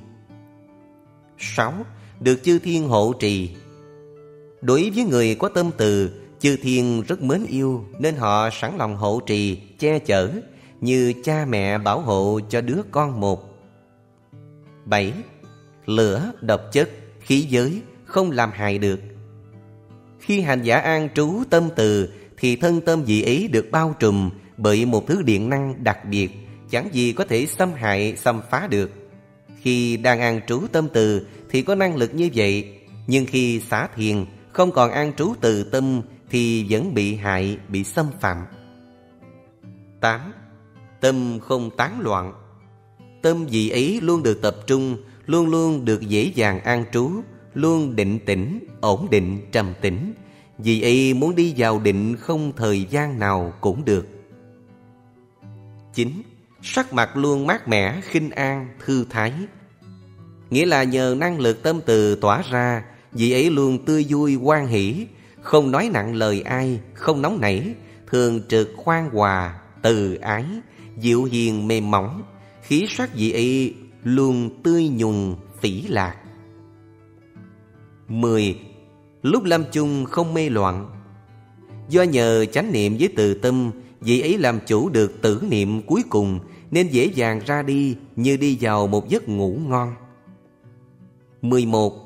Sanh vào phạm thiên giới Nếu vị ấy không chứng quả cao hơn, thì khi hết đời này sẽ quá sanh vào phạm thiên giới như thức dậy từ một bình minh đẹp trời. Nhờ những khả tính di diệu của tâm từ như vậy, Nên ta có thể cô động bằng mấy câu lục bát tứ tuyệt Từ tâm suối ngọt trong lành, Từ tâm gió mát trăng thanh đầy lòng từ tâm rưới khắp cõi hồng Trời người an lạc mênh mông thái hòa B. Tâm bi Tâm bi là lòng bi mẫn Biết thương xót biết rung động trước sự đau khổ, bất hạnh của người khác là muốn xoa dịu, chia sẻ, ủi an người khác trước hoạn nạn, trước nghịch cảnh, thống khổ, neo đơn cô quả, tai ương, tật nguyền, đói rách, vân vân. Tâm bi còn được định nghĩa là lòng trắc ẩn cao thượng, nó bao trùm đồng đẳng tất cả những chúng sanh đau khổ, bất hạnh trên thế gian. Và cao cả hơn thế nữa Lòng trắc ẩn ý còn bao trùm cả những người có địa vị cao sang, quyền quý Cả những người đang sùng bái chủ nghĩa hư vô, hiện sinh, tà kiến, tà giáo Tâm bi ý thương xót những kẻ đang đắm say bả vinh hoa, quyền thế, quyền lực, danh vọng, địa vị Sớm còn tối mất trên trần thế Rồi một mai kia khi phủi tay hết cuộc sẽ gánh chịu những hậu quả đắng cay. Tâm bi ý, thương xót những kẻ lắm bạc nhiều tiền, vẫn còn mãi mê trăm phương nghìn cách thâu góp của cải tài sản mà đâu biết rằng tội báo ác nghiệp và tử thần với lưỡi hái lạnh lùng sẽ không tha thứ cho một ai. Tâm bi ấy rung động xót thương cả những người không biết gì về thiện ác, nhân quả nghiệp báo mãi sống trong bóng tối của hư vô và tà kiến, biết bao giờ ánh sáng sự thật mới soi chiếu đến họ. Quả thật, nếu từ tâm có năng lượng mát mẻ, từ hòa là dòng suối ngọt cho nhân sinh thì tâm bi chính là trái tim dễ cảm ứng. Không những sự đau khổ của người khác trong hiện tại mà cả hậu quả họ sẽ gánh chịu trong tương lai. Hiện tại, chúng nghĩ là chúng đang sung sướng, hạnh phúc. Cũng vì bi tâm rộng lớn này mà Bồ Tát của chúng ta trong rất nhiều kiếp tiền thân đã ra biển tìm ngọc trai để giúp đỡ áo cơm đến người đói khổ. Nhiều kiếp đã bố thí của cải tài sản áo cơm đến muôn người bất hạnh. Nhiều kiếp đã hy sinh một phần của thân thể hay cả tính mạng vì sự sống hoặc vì an toàn cho chúng sanh khác. Cũng vì bi tâm này mà Bồ Tát tu tập công hạnh ba la mật tìm phương thuốc diệt khổ cho chúng sanh.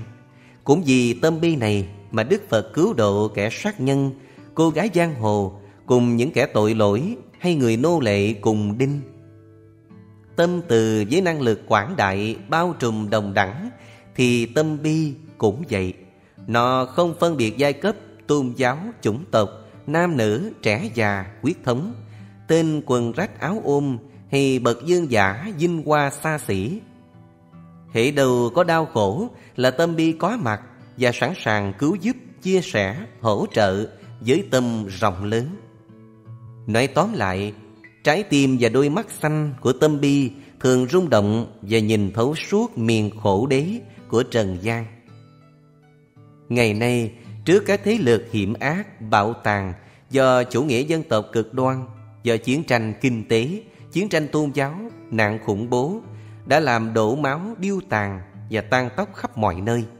Các hiểm họa xì ke ma túy, mãi dâm, buôn bán trẻ con, HIV, các bệnh dịch siêu di, hạn hán, bão lụt, cháy rừng, động đất, ô nhiễm môi trường, dân dân đang hăm dọa sự sống của cả hành tinh xanh, làm cho các bậc thức giả, kẻ có lương tri đã lên tiếng báo động SOS.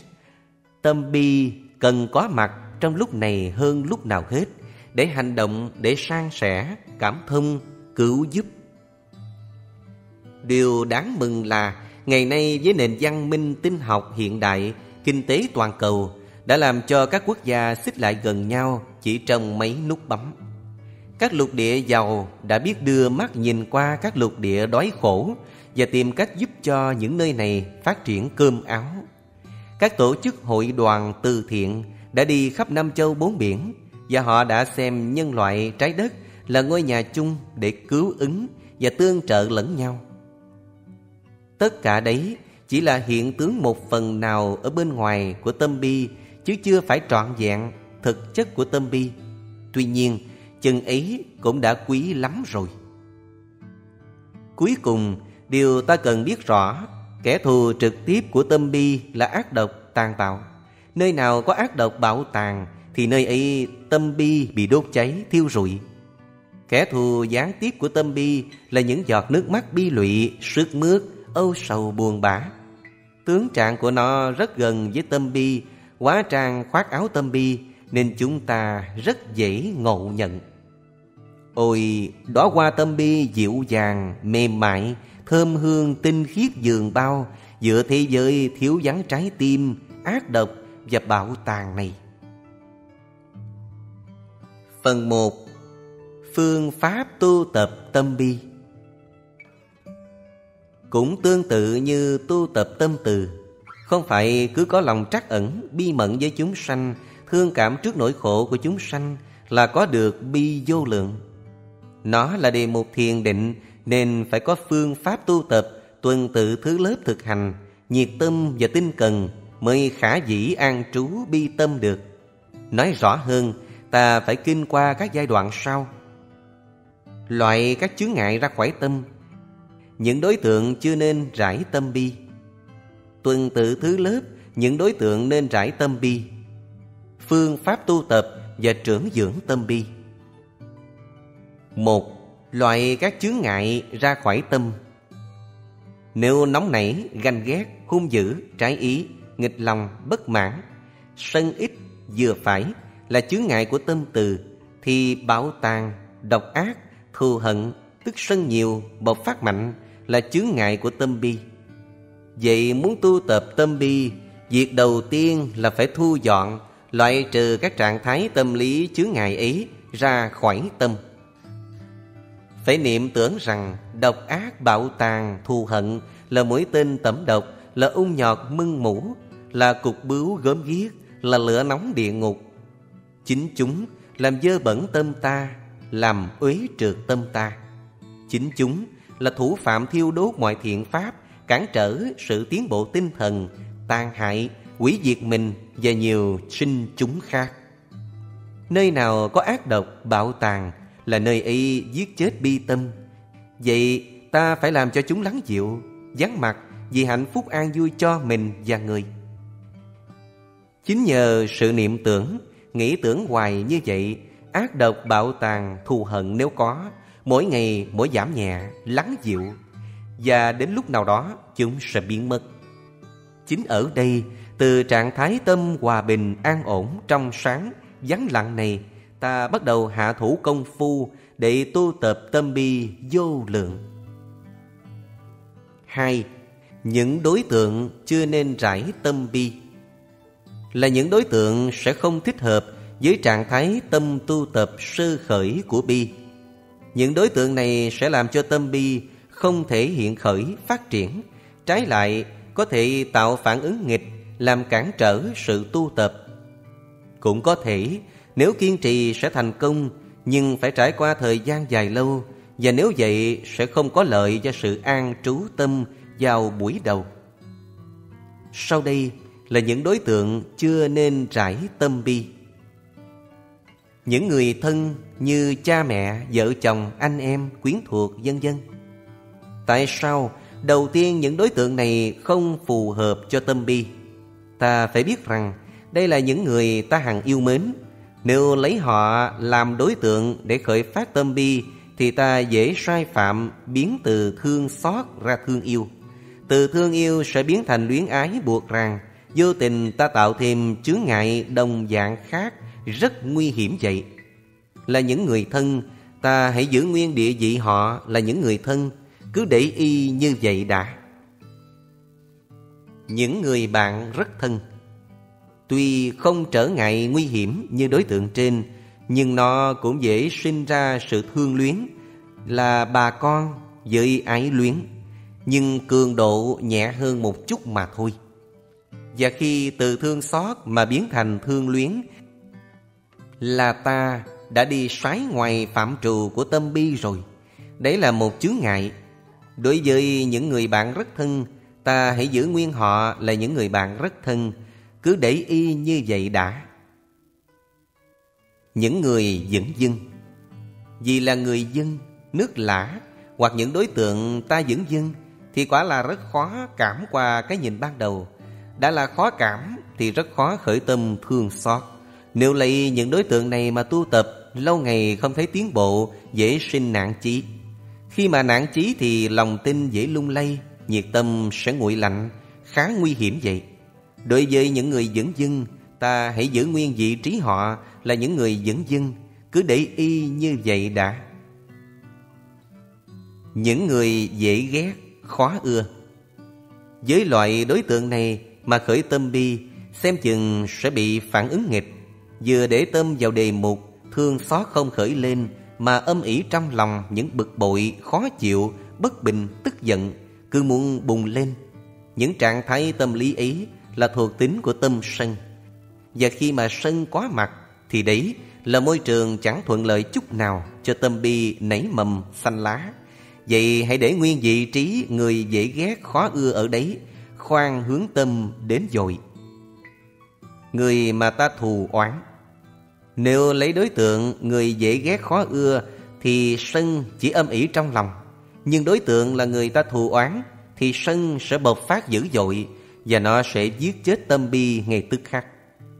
Đây chẳng khác gì Ta muốn gieo hạt hoa ở trong đống lửa, Hoặc như ta đốt một đống than hồng Để mong hứng được mấy giọt sương trời. Việc làm y vô ích như thế nào Thì tu tập tâm bi với đối tượng ta thù oán Cũng tương tự thế. Hãy để nguyên vị trí đối tượng này như vậy đã Là người khác giới tính Cũng như tâm từ Bi tâm mà hướng đến đối tượng này thì những trạng thái tâm lý như thương yêu, triều mến, luyến ái sẽ giả dạng thương xót để có mặt trong tâm hành giả, rất nguy hiểm. Với người đã chết, tương tự như từ tâm sẽ không có hiệu quả. 3. Tuần tự thứ lớp Những đối tượng nên rải tâm bi Trước tiên, tâm bi dễ dàng khởi lên đối với những người kém may mắn, khốn khổ, bất hạnh, những người đói cơm, rách áo, những người tật nguyền cục hết tay chân, bị phong cùi khoét sâu mặt mũi, những người mụn ghẻ, ung bướu, lở loét, hồi hám, rồi nhặn bu đầy, những người lê lết tấm thân tàn nơi quán chợ, sân đình. Với những đối tượng ấy, tâm bi sẽ khởi lên. Khốn khổ, bất hạnh thay là người này cầu mong cho y sớm thoát khỏi sự thống khổ đau đớn. Sau những đối tượng khốn khổ bất hạnh nêu trên, bi tâm có thể hướng đến những người do tham ác mà phải gánh chịu hậu quả tra tấn, tù đầy, ngục hình, xử trảm. Bi tâm sẽ niệm tưởng, thương xót thay là những người này do ngu si tham ác thiểu trí đã tạo tác những hành động bất thiện, bây giờ phải bị trả quả báo ác nghiệp cầu mong cho chúng sớm thoát khỏi tội hình. Thứ đến, lòng trắc ẩn cũng dễ dàng khởi sanh với những người do cờ bạc rượu chè mà thân tàn ma dại, do xì ke nghiện hút mà sống giật giờ như hình ma sát quỷ, rồi đến những đối tượng bị nhiễm HIV, những người mắc bệnh tứ chứng nan y, những người sống trác tán sa đọa, những tên trộm cắp giết người. Khi bi tâm đã bao trùm khá rộng rãi như thế và hành giả cảm nhận rằng chẳng có một dướng mắt nào, chẳng có một chướng ngại gì ngăn trở, tâm bi có thể khởi đến một số đối tượng khác. Những người do tà mạng ác hạnh mà có được của cải tài sản. Những người do mưu mô thâm độc xảo trá mà có được danh vọng địa vị. Những người do mưu mô xảo quyệt, gian trá, lừa gạt, thủ đoạn mà được nhiều lợi lộc gia sản, tiện nghi vật chất. Những người do tham nhũng hối lộ, làm ăn phi pháp bất chánh dân dân mà có được đời sống dinh thân phì gia. Những người có lòng dạ tiểu nhân do nịnh nọt cúi luồng bợ đỡ mà có được sự nghiệp quyền lực. Sau những đối tượng ấy, tâm bi còn bao trùm cả. Những thiện nhân, những người lành tốt nhưng bắt đầu bị phá sản về sức khỏe, phá sản về quyến thuộc, tài sản, phá sản về danh vọng, địa vị.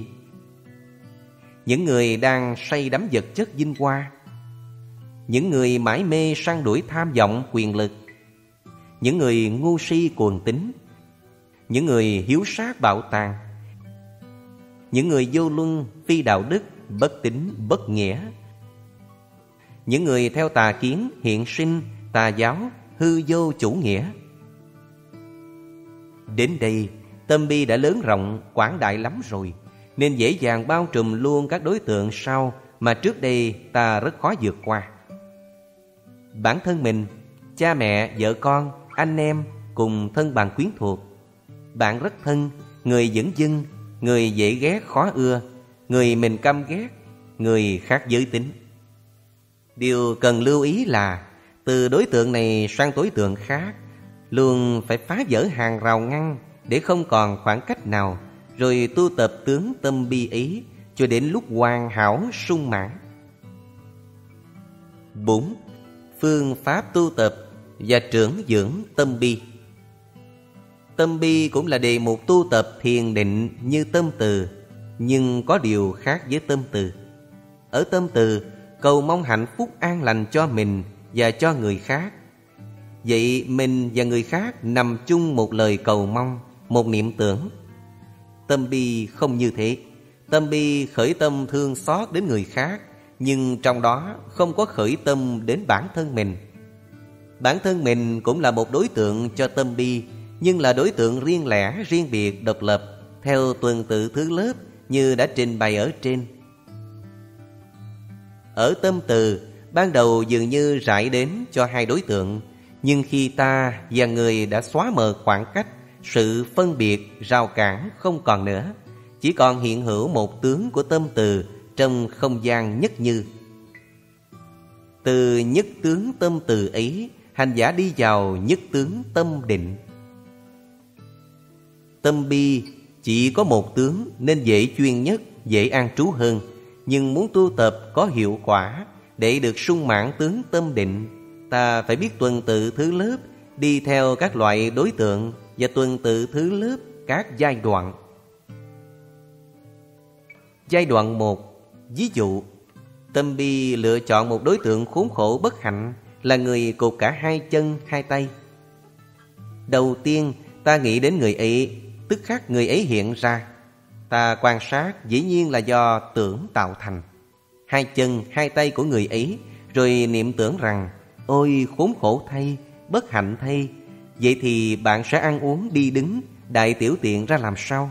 Chẳng rõ bạn bị nghiệp gì Mà chịu quả kinh khiếp như thế. Cầu mong sao cho bạn Sớm thoát khỏi ác báo thống khổ này. Với sự nghĩ tưởng chân tình như thế Trái tim hành giả sẽ bắt đầu sao xuyến rung động, Rồi một niềm thương xót vô bờ tràn ngập tâm tư hành giả. Và lúc ấy, chỉ hiện hữu duy nhất cảm xúc ấy thôi. Ở đây, nhất tướng tâm bi đã hình thành. Từ nhất tướng tâm bi ấy, Hành giả nhiệt tâm tinh cần an trú mãi.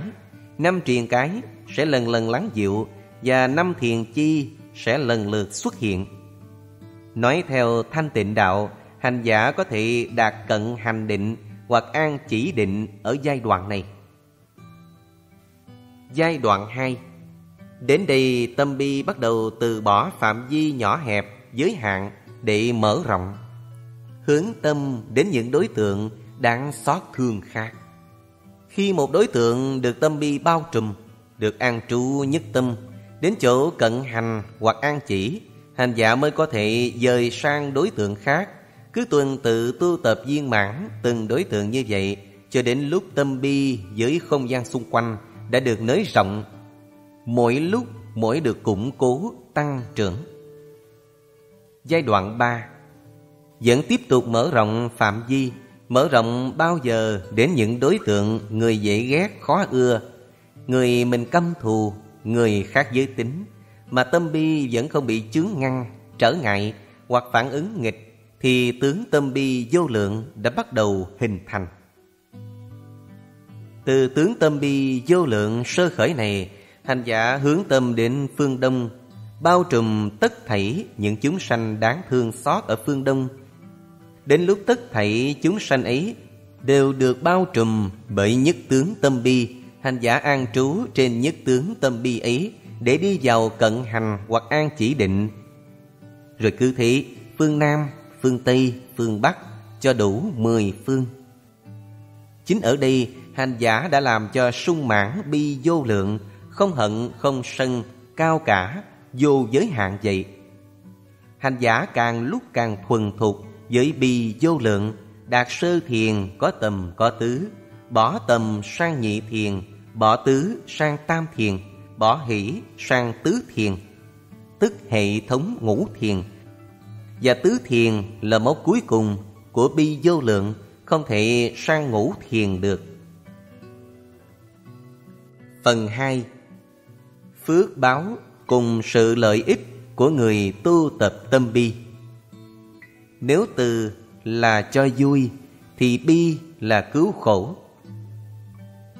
Có người do duyên, nghiệp, tâm cảm, sở thích, cá tính dần dần cho vui là dễ nhưng cứu khổ lại khó.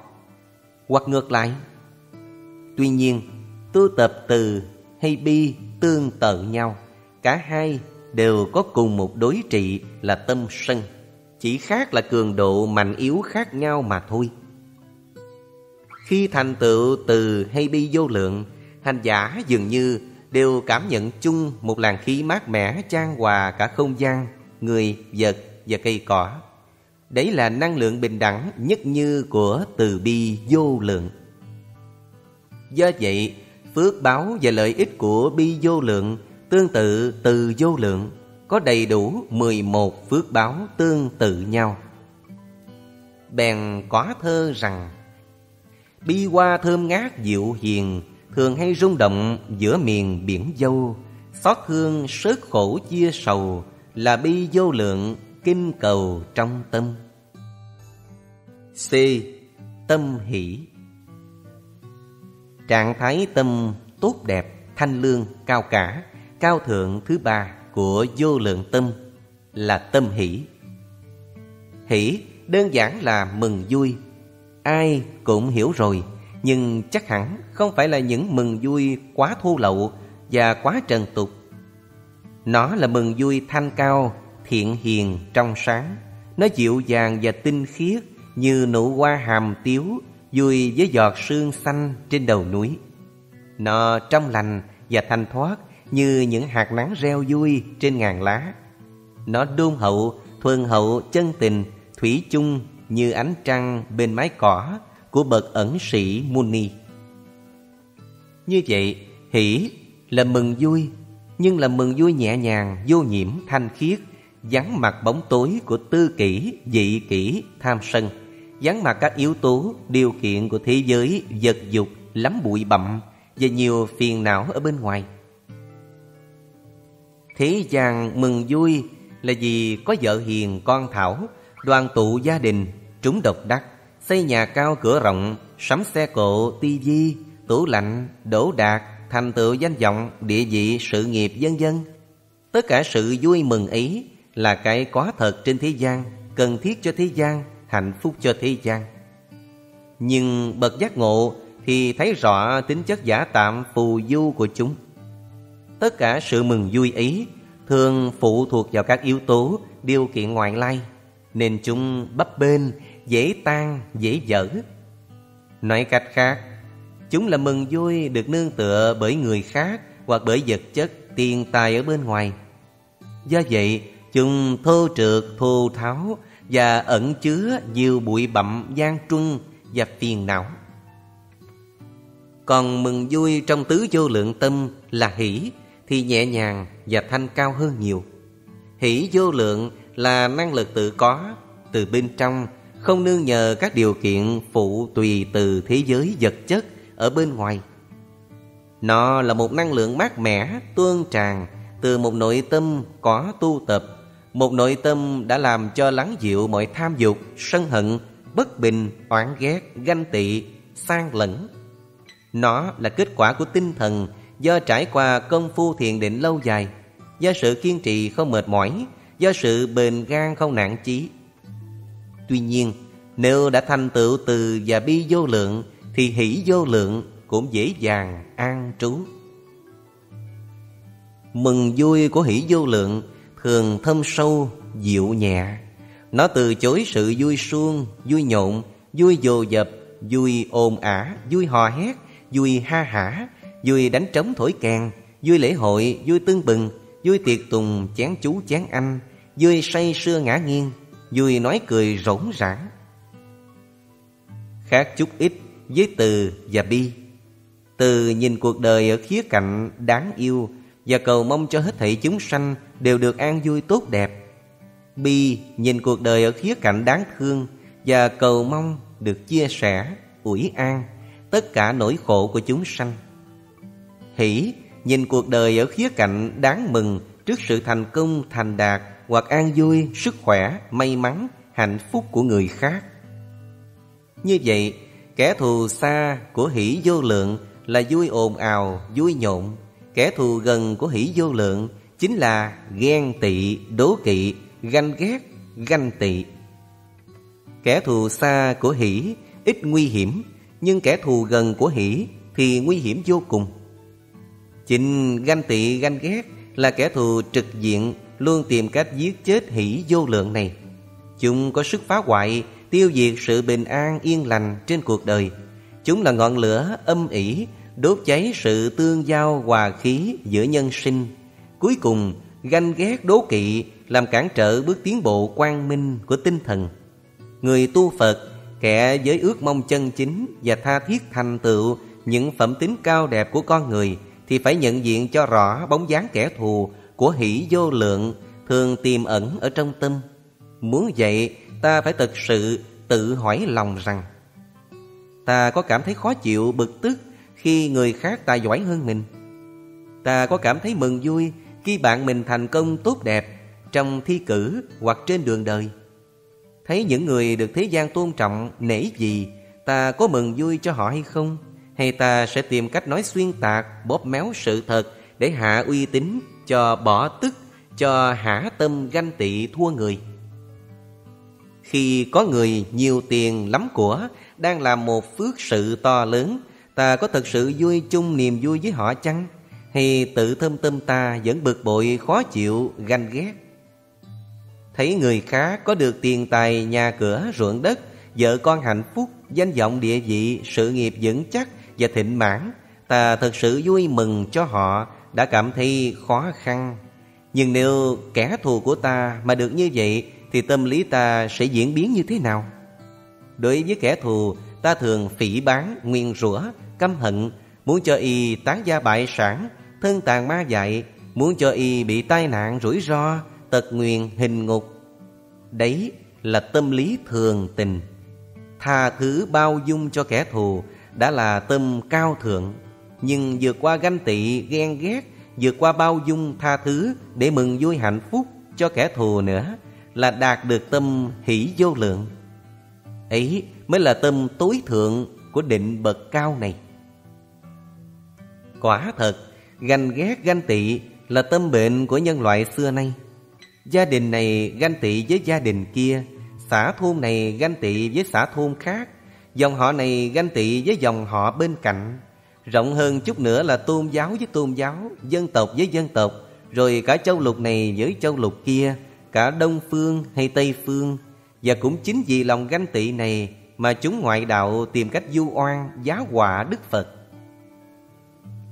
Là người Phật tử, phải thấy rõ sự nguy hiểm của lòng ganh ghét, ganh tị ý Trong phút chốc, chúng có thể hạ thấp phẩm giá con người, biến con người thành ti tiện, hèn mọn. Chúng quỷ diệt những đức tính thiện lương, có thể dẫn đến những hành động tội lỗi, độc ác, tàn bạo. Chúng tung rải lầm than, bóng tối và khổ đau cho cuộc đời vốn đã ngập tràn thi lương và thống khổ này. Khi biết rõ ganh ghét, ganh tị nguy hiểm như thế, chúng ta phải tự thức, tự tri, tự chiếu soi để phát hiện. Khi nhìn thấy chúng đang xuất hiện, ta phải bình tĩnh để đừng hành động theo sự xúi dục của chúng. Chỉ có làm thế thôi là ta đã bắt đầu tu tập rồi vậy. Rồi trong đời sống thường nhật, ta tập vui mừng với những người thành công, thành đạt, an lạc, hạnh phúc xung quanh ta.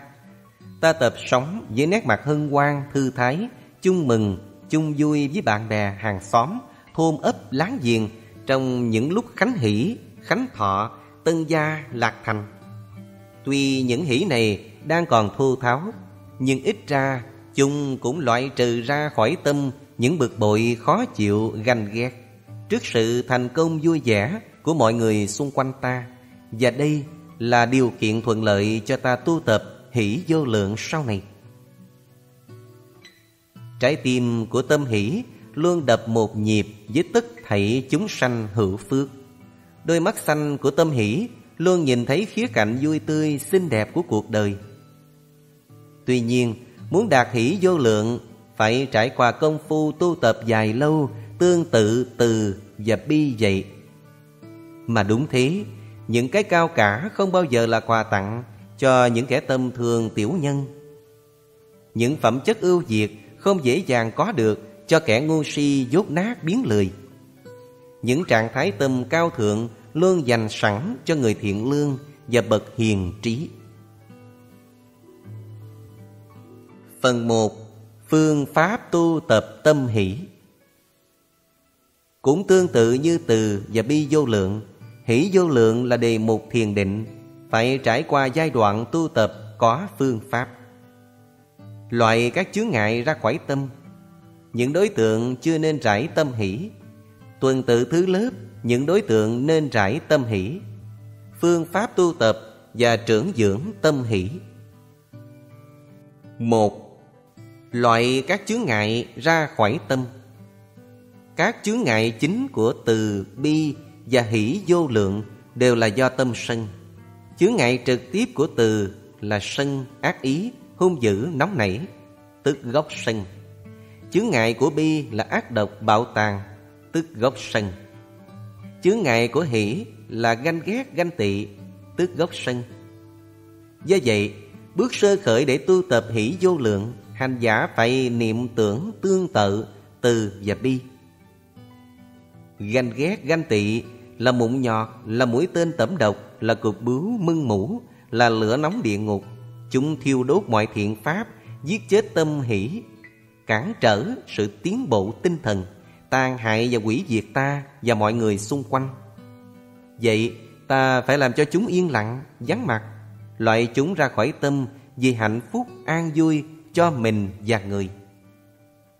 Chính nhờ sự niệm tưởng, nghĩ tưởng như vậy mãi, thời gian sau, ganh ghét ganh tị nếu có, lần hồi sẽ được lắng dịu.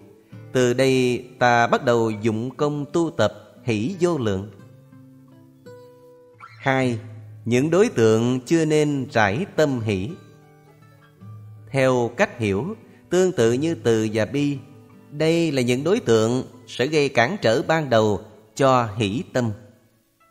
Tuy nhiên, riêng hỷ tâm thì chỉ cần nên tránh các đối tượng đầu tiên là những người mà mình thương mến như cha mẹ, vợ chồng, anh em, thân bạn quyến thuộc.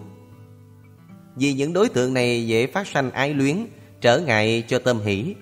Riêng những người bạn rất thân thì đặt sang đối tượng đầu tiên nên rải tâm hỷ. Các đối tượng còn lại sẽ tuần tự thứ lớp như tâm bi, chưa nên rải. Những người dẫn dân thờ ơ, không thương không ghét. Người mà ta thù oán, người khác giới tính, người đã chết. ba Tuần tự thứ lớp những đối tượng nên rải tâm hỷ. Người bạn tốt, người bạn ta hàng thương mến quý trọng.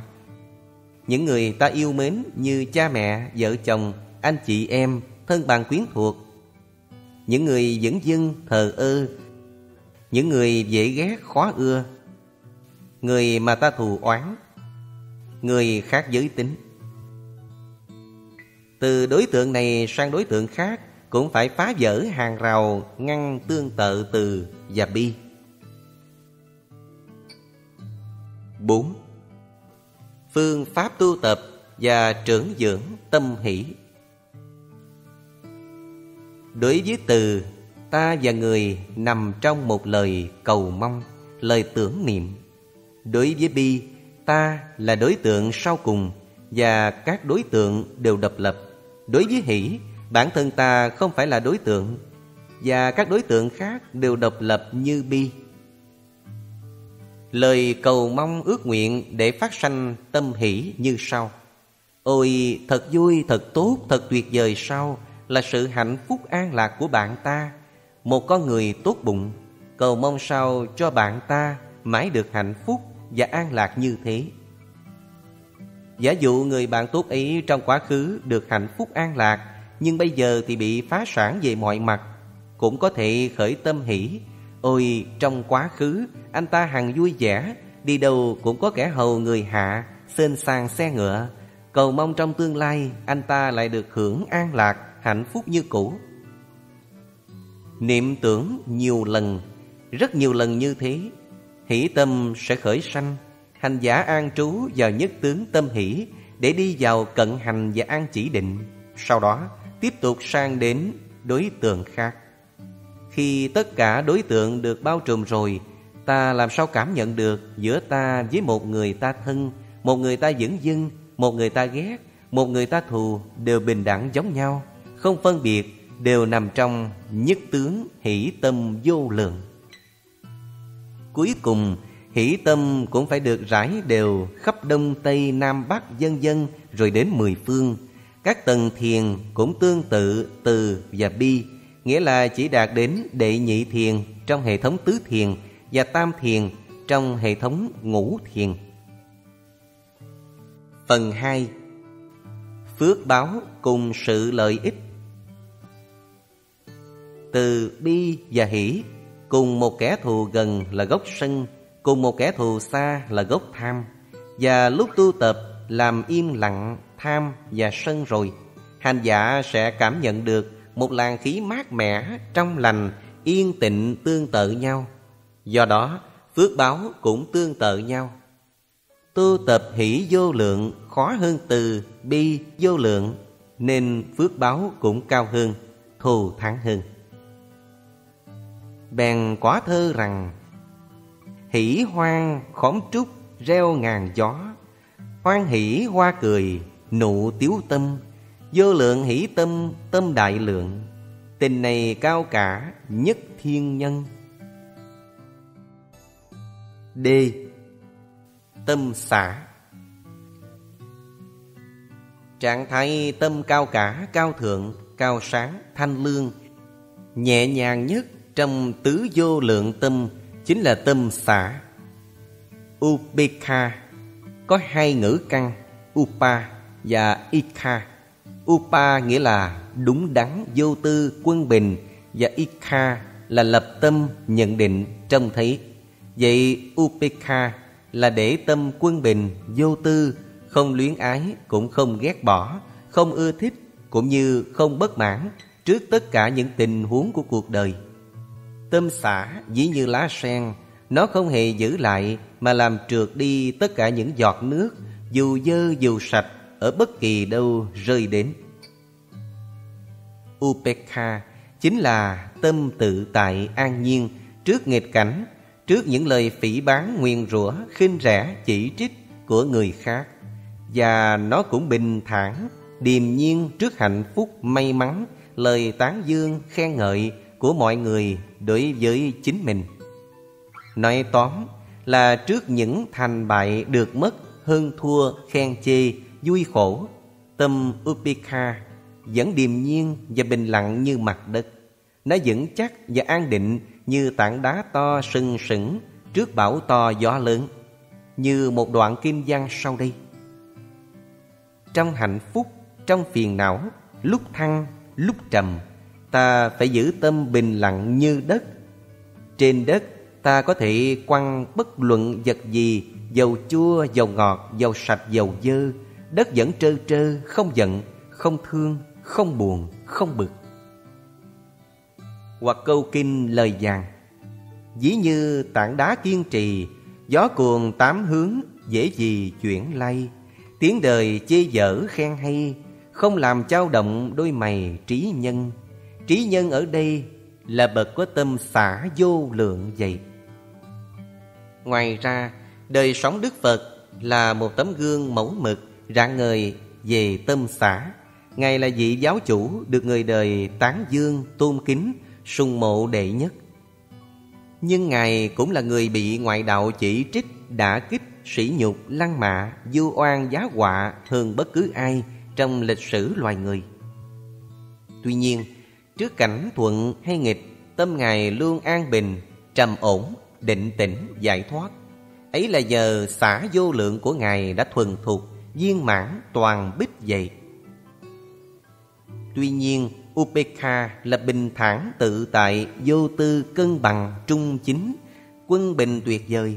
Nhưng nó cũng dễ lầm lẫn, đồng tướng với thờ ơ, lạnh lùng, dững dưng, nguội lạnh, vô tình, vô cảm, lãnh đạm. Xả vô lượng, xem những trạng thái tâm vô cảm ấy là kẻ thù gián tiếp của mình. Còn có kẻ thù trực tiếp, trực diện của Upekha chính là luyến ái. Vì do luyến ái mới phát sanh yêu ghét Phá vỡ sự bình ổn của tâm Nơi nào có luyến ái Nơi ấy không có upekha Nơi nào có lạnh lùng Vô cảm Nơi ấy không có upekha Người có upekha không bao giờ thiên chấp Nghiêng lệch Thiên vị Hoặc để tâm phân biệt sai khác Giữa các đối tượng giữa cuộc đời Upekha là bậc hiền triết tịch mặt Đưa đôi mắt xanh trạm nhiên Nhìn ngắm kẻ ác, người hiền, tên tội đồ và bậc thánh nhân, người giàu kẻ nghèo, cùng đinh hay quý tộc đều vô tư, bình thản như nhau. Giáo hội của Đức Tôn Sư có mặt cả bốn giai cấp thời bấy giờ ở Ấn Độ, mà không có sự kỳ thị phân biệt nào. Như nước của trăm con sông đều hòa đồng giữa biển lớn, thì ở đấy không hàm tàn khả tính của xã vô lượng hay sao? Cuối cùng, Chính văn và rốt ráo nhất Upekha là trạng thái tâm chỉ tu tập được ở trong một tầng định rất cao, rất sáng, rất nhẹ, rất thanh thoát. Nói cách khác, hành giả phải đạt đệ tam thiền với từ bi, hỷ vô lượng một cách trọn vẹn thuần thục. Khi an trú với những định thiền từ bi và hỷ vô lượng, vì ấy nghĩ Tâm mình còn mong cầu sự an vui hạnh phúc cho chúng sanh Thì tâm ý còn rung động, dao động, còn lăng xăng Và chưa thật sự an tịnh Mặc dù từ vô lượng đã làm cho lắng dịu nóng nảy, hung dữ, sân ác ý Nhưng nó vẫn là một cảm thọ còn nặng nề thô tháo Tâm mình còn khởi tâm thương xót đến tất cả nỗi khổ đau bất hạnh của chúng sanh thì tâm ý còn rung động, dao động, còn lăng xăng và chưa thật sự an tịnh.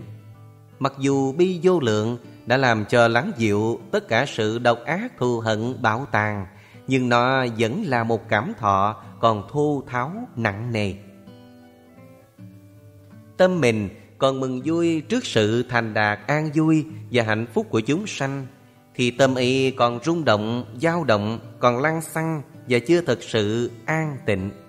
Mặc dù hỷ vô lượng đã loại bỏ các trạng thái tâm ganh ghét, đố kỵ, tị hiềm Nhưng nó vẫn là một cảm thọ còn thô tháo và nặng nề Như vậy, từ bi và hỷ vô lượng còn có bóng dáng của tham ái và ngã chấp di tế còn những rung động và sao xuyến di tị Nhờ thấy rõ, biết rõ và kinh qua kinh nghiệm tu chứng bản thân Hành giả từ bỏ từ bi hỷ đệ tam thiền để tu tập xả vô lượng ở đệ tứ thiền. Phương pháp tu tập tâm xả Nhờ đã đi qua thuần thục từ bi hỷ đệ tam thiền nên hành giả thường dễ dàng tu tập và an trú đệ tứ thiền. Phải đi qua các giai đoạn tương tự. Loại các chướng ngại ra khỏi tâm. Tuần tự thứ lớp, những đối tượng nên trải tâm xả. Những đối tượng chưa nên trải tâm xả. Phương pháp tu tập và trưởng dưỡng tâm xả. Một, loại các chướng ngại ra khỏi tâm xả. Chướng ngại trực tiếp của xả vô lượng là luyến ái chướng ngại gián tiếp của xả vô lượng là vô cảm lạnh lùng vậy trước khi tu tập xả vô lượng ta phải loại chúng ra khỏi tâm bằng cách niệm tưởng như sau. Luyến ái, thiên chấp là mũi tên tẩm độc, là ung nhọt mưng mũ, là cục bướu gớm ghiếc, là bụi bặm dơ uế. Chính chúng làm nặng nề uế trượt tâm ta. Chính chúng làm quen ố các thiện pháp, cản trở sự tiến bộ và thăng hoa tinh thần. Nơi nào có luyến ái thiên chấp, nơi ấy không có xả vô lượng. Cứ niệm tưởng, nghĩ tưởng như vậy nhiều lần Và nhờ đệ tam thiền từ bi hỷ vô lượng đã thuần thuộc Hành giả dễ dàng rời xa, lắng dứt luyến ái và thiên chấp hai Những đối tượng chưa nên rải tâm xả Đầu tiên nên tránh những đối tượng dễ phát sanh luyến ái Đó là những người mình hằng thương mến Như cha mẹ, vợ chồng, anh em, bà con quyến thuộc. Những người bạn tốt rất thân thương Người khác giới tính. Ba Tuần tự thứ lớp Những đối tượng nên rải tâm xả. Sau khi lắng dứt luyến ái Tâm dễ dàng bước qua cực đoan khác là vô cảm. Vì xả vô lượng đồng dạng với lạnh lùng, thờ ơ, vô cảm Nên đối tượng dễ dàng an trú tâm xả đầu tiên Là những người không thân, không thù, không thương, không ghét Tức là những người ta hằng dững dưng vô tình. Tiếp đến Những đối tượng ta nên rải tâm xả là như sau. Bạn tốt, người lành. Những người ta hằng kính mến, tôn trọng. Những người may mắn, hạnh phúc. Những người ruột thịt, vợ chồng, cha mẹ Những người dễ ghét, khó ưa Những người ta thù Những người khác giới tính Bản thân ta 4. Phương pháp tu tập và trưởng dưỡng tâm xả cũng tu tập an trú xả vô lượng với từng đối tượng. Từ đối tượng mình dẫn dưng lạnh lùng đến đối tượng cuối cùng là bản thân ta. Khi xã vô lượng đã bình đẳng nhất như đối với tất cả đối tượng, ta hướng đến Đông Tây Nam Bắc dân dân khắp mười phương thế giới để mở rộng đến vô lượng vô biên, không hận không sân, trạm nhiên thanh tịnh. Xã vô lượng thuộc tứ thiền hay ngũ thiền nên phước báo của nó quảng đại và cao cả hơn từ bi và hỷ vô lượng. Là một vị phạm thiên tối thắng ở cõi trời sắc giới tứ thiền vậy. Bèn có thơ rằng, Lá sen chẳng giữ giọt mưa, Đất kia dơ sạch, ghét ưa thẳng ngoài Xả tâm tịnh định tuyệt vời, Trạm nhiên thanh thoát, nụ cười nhẹ không Kết luận, Tứ vô lượng tâm từ bi hỷ xả Là những trạng thái tâm an bình cao cả Cần thời gian công phu, hành trì nghiêm túc và miên mật Để dễ ghi nhớ trạng thái và tính chất của mỗi phạm trú. Ta cần ghi nhớ câu chuyện sau đây. Như người mẹ có bốn người con, Một đứa bé dại, Một đứa bị tật nguyền, Một đứa thanh xuân khỏe mạnh, Một đứa đã yên bề gia thất, Sống an vui ổn định. Đối với đứa bé dại, Người mẹ mong con chóng ăn, chóng lớn Săn sóc nó từng ly từng tí Với sự yêu thương triều mến. Đấy là biểu hiện của tâm từ. Đối với đứa bị tật nguyền, Người mẹ hằng xót thương Để tâm đặc biệt hơn Để lo lắng cho nó, Mong nó giảm bớt đau khổ và bất hạnh. Đấy là biểu hiện của tâm bi. Đối với đứa thanh xuân khỏe mạnh, Người mẹ thường mừng vui trước tương lai tươi đẹp của nó. Đấy là biểu hiện của tâm hỷ. Đối với đứa đã yên bề gia thất Đời sống ổn định, Người mẹ thường không bận tâm đến đứa con này nữa, Luôn giữ được sự thản nhiên và an bình. Đấy là biểu hiện của tâm xả. Trong dòng tâm lý diễn biến phức tạp của con người, Nó tiềm tàng hai năng lực xung nghịch nhau, Tham và sân. Con người bị hai năng lực này chi phối Nên tạo tác nhiều hành động xấu ác. Người tu tập từ vô lượng thì ngăn chặn, Làm lắng dịu được sân nóng nảy, hung dữ, ác ý. Người tu tập bi vô lượng Thì ngăn chặn, Làm lắng dịu được hận thù, Độc ác, bạo tàn. Người tu tập được hỷ vô lượng Thì ngăn chặn, Làm lắng dịu được ganh ghét, Đố kỵ, tị hiềm. Người tu tập xả vô lượng Thì diệt trừ được ái luyến và thiên chấp, Giữ được sự an bình trạm nhiên Trước nỗi thăng trầm được mất của cuộc đời. Dung dưỡng cho tham sân lộng hành, ta sẽ tích chứa cả một hầm thói hư tật xấu. Tu tập theo tứ vô lượng tâm, ta sẽ tích lũy cả một kho tàng đức hạnh. Muốn làm tên tội đồ hạ liệt hoặc bậc thánh nhân cao cả với những phẩm tính tốt đẹp là tùy thuộc ở chính ta vậy dầu ở quốc độ nào tôn giáo nào hấp thụ nền văn minh văn hóa nào Ai cũng cần thiết bốn đức tính cao cả, mát mẻ và dịu hiền ý. Giả chăng, nó vốn là tặng phẩm ngọt ngào vô giá của Đức Đại Từ, Đại Bi, Đại Hỷ, Đại Xã cho xã hội con người đã bị quá nhiều bóng tối, tan thương và khổ nạn này. Minh Đức Triều Tâm Ảnh Chú thích. Một Brahma Vihara Phạm Trú. Brahma là Phạm, vị trí cao thượng. Vihara, trú, phương pháp, lối sống, trạng thái phẩm hạnh. 2. Brahma Chakriya Phẩm hạnh cao cả. Thanh tịnh hay dịch là phạm hạnh. 3. Tất cả cái gọi là thể nhập, đồng hóa, chan hòa là một ấy dễ biến thành ngã hoặc đại ngã là quan niệm của Bà La Môn giáo. 4. Theo thanh tịnh đạo 5. Theo thanh tịnh đạo là như vậy, Nhưng tam thiền trong hệ thống tứ thiền Có thọ lạc di tế hơn từ, Ngại rằng không tương ưng soạn giả 6. Dĩ nhiên, ngoại trừ những thế lực mưu đồ chính trị và kinh tế 7.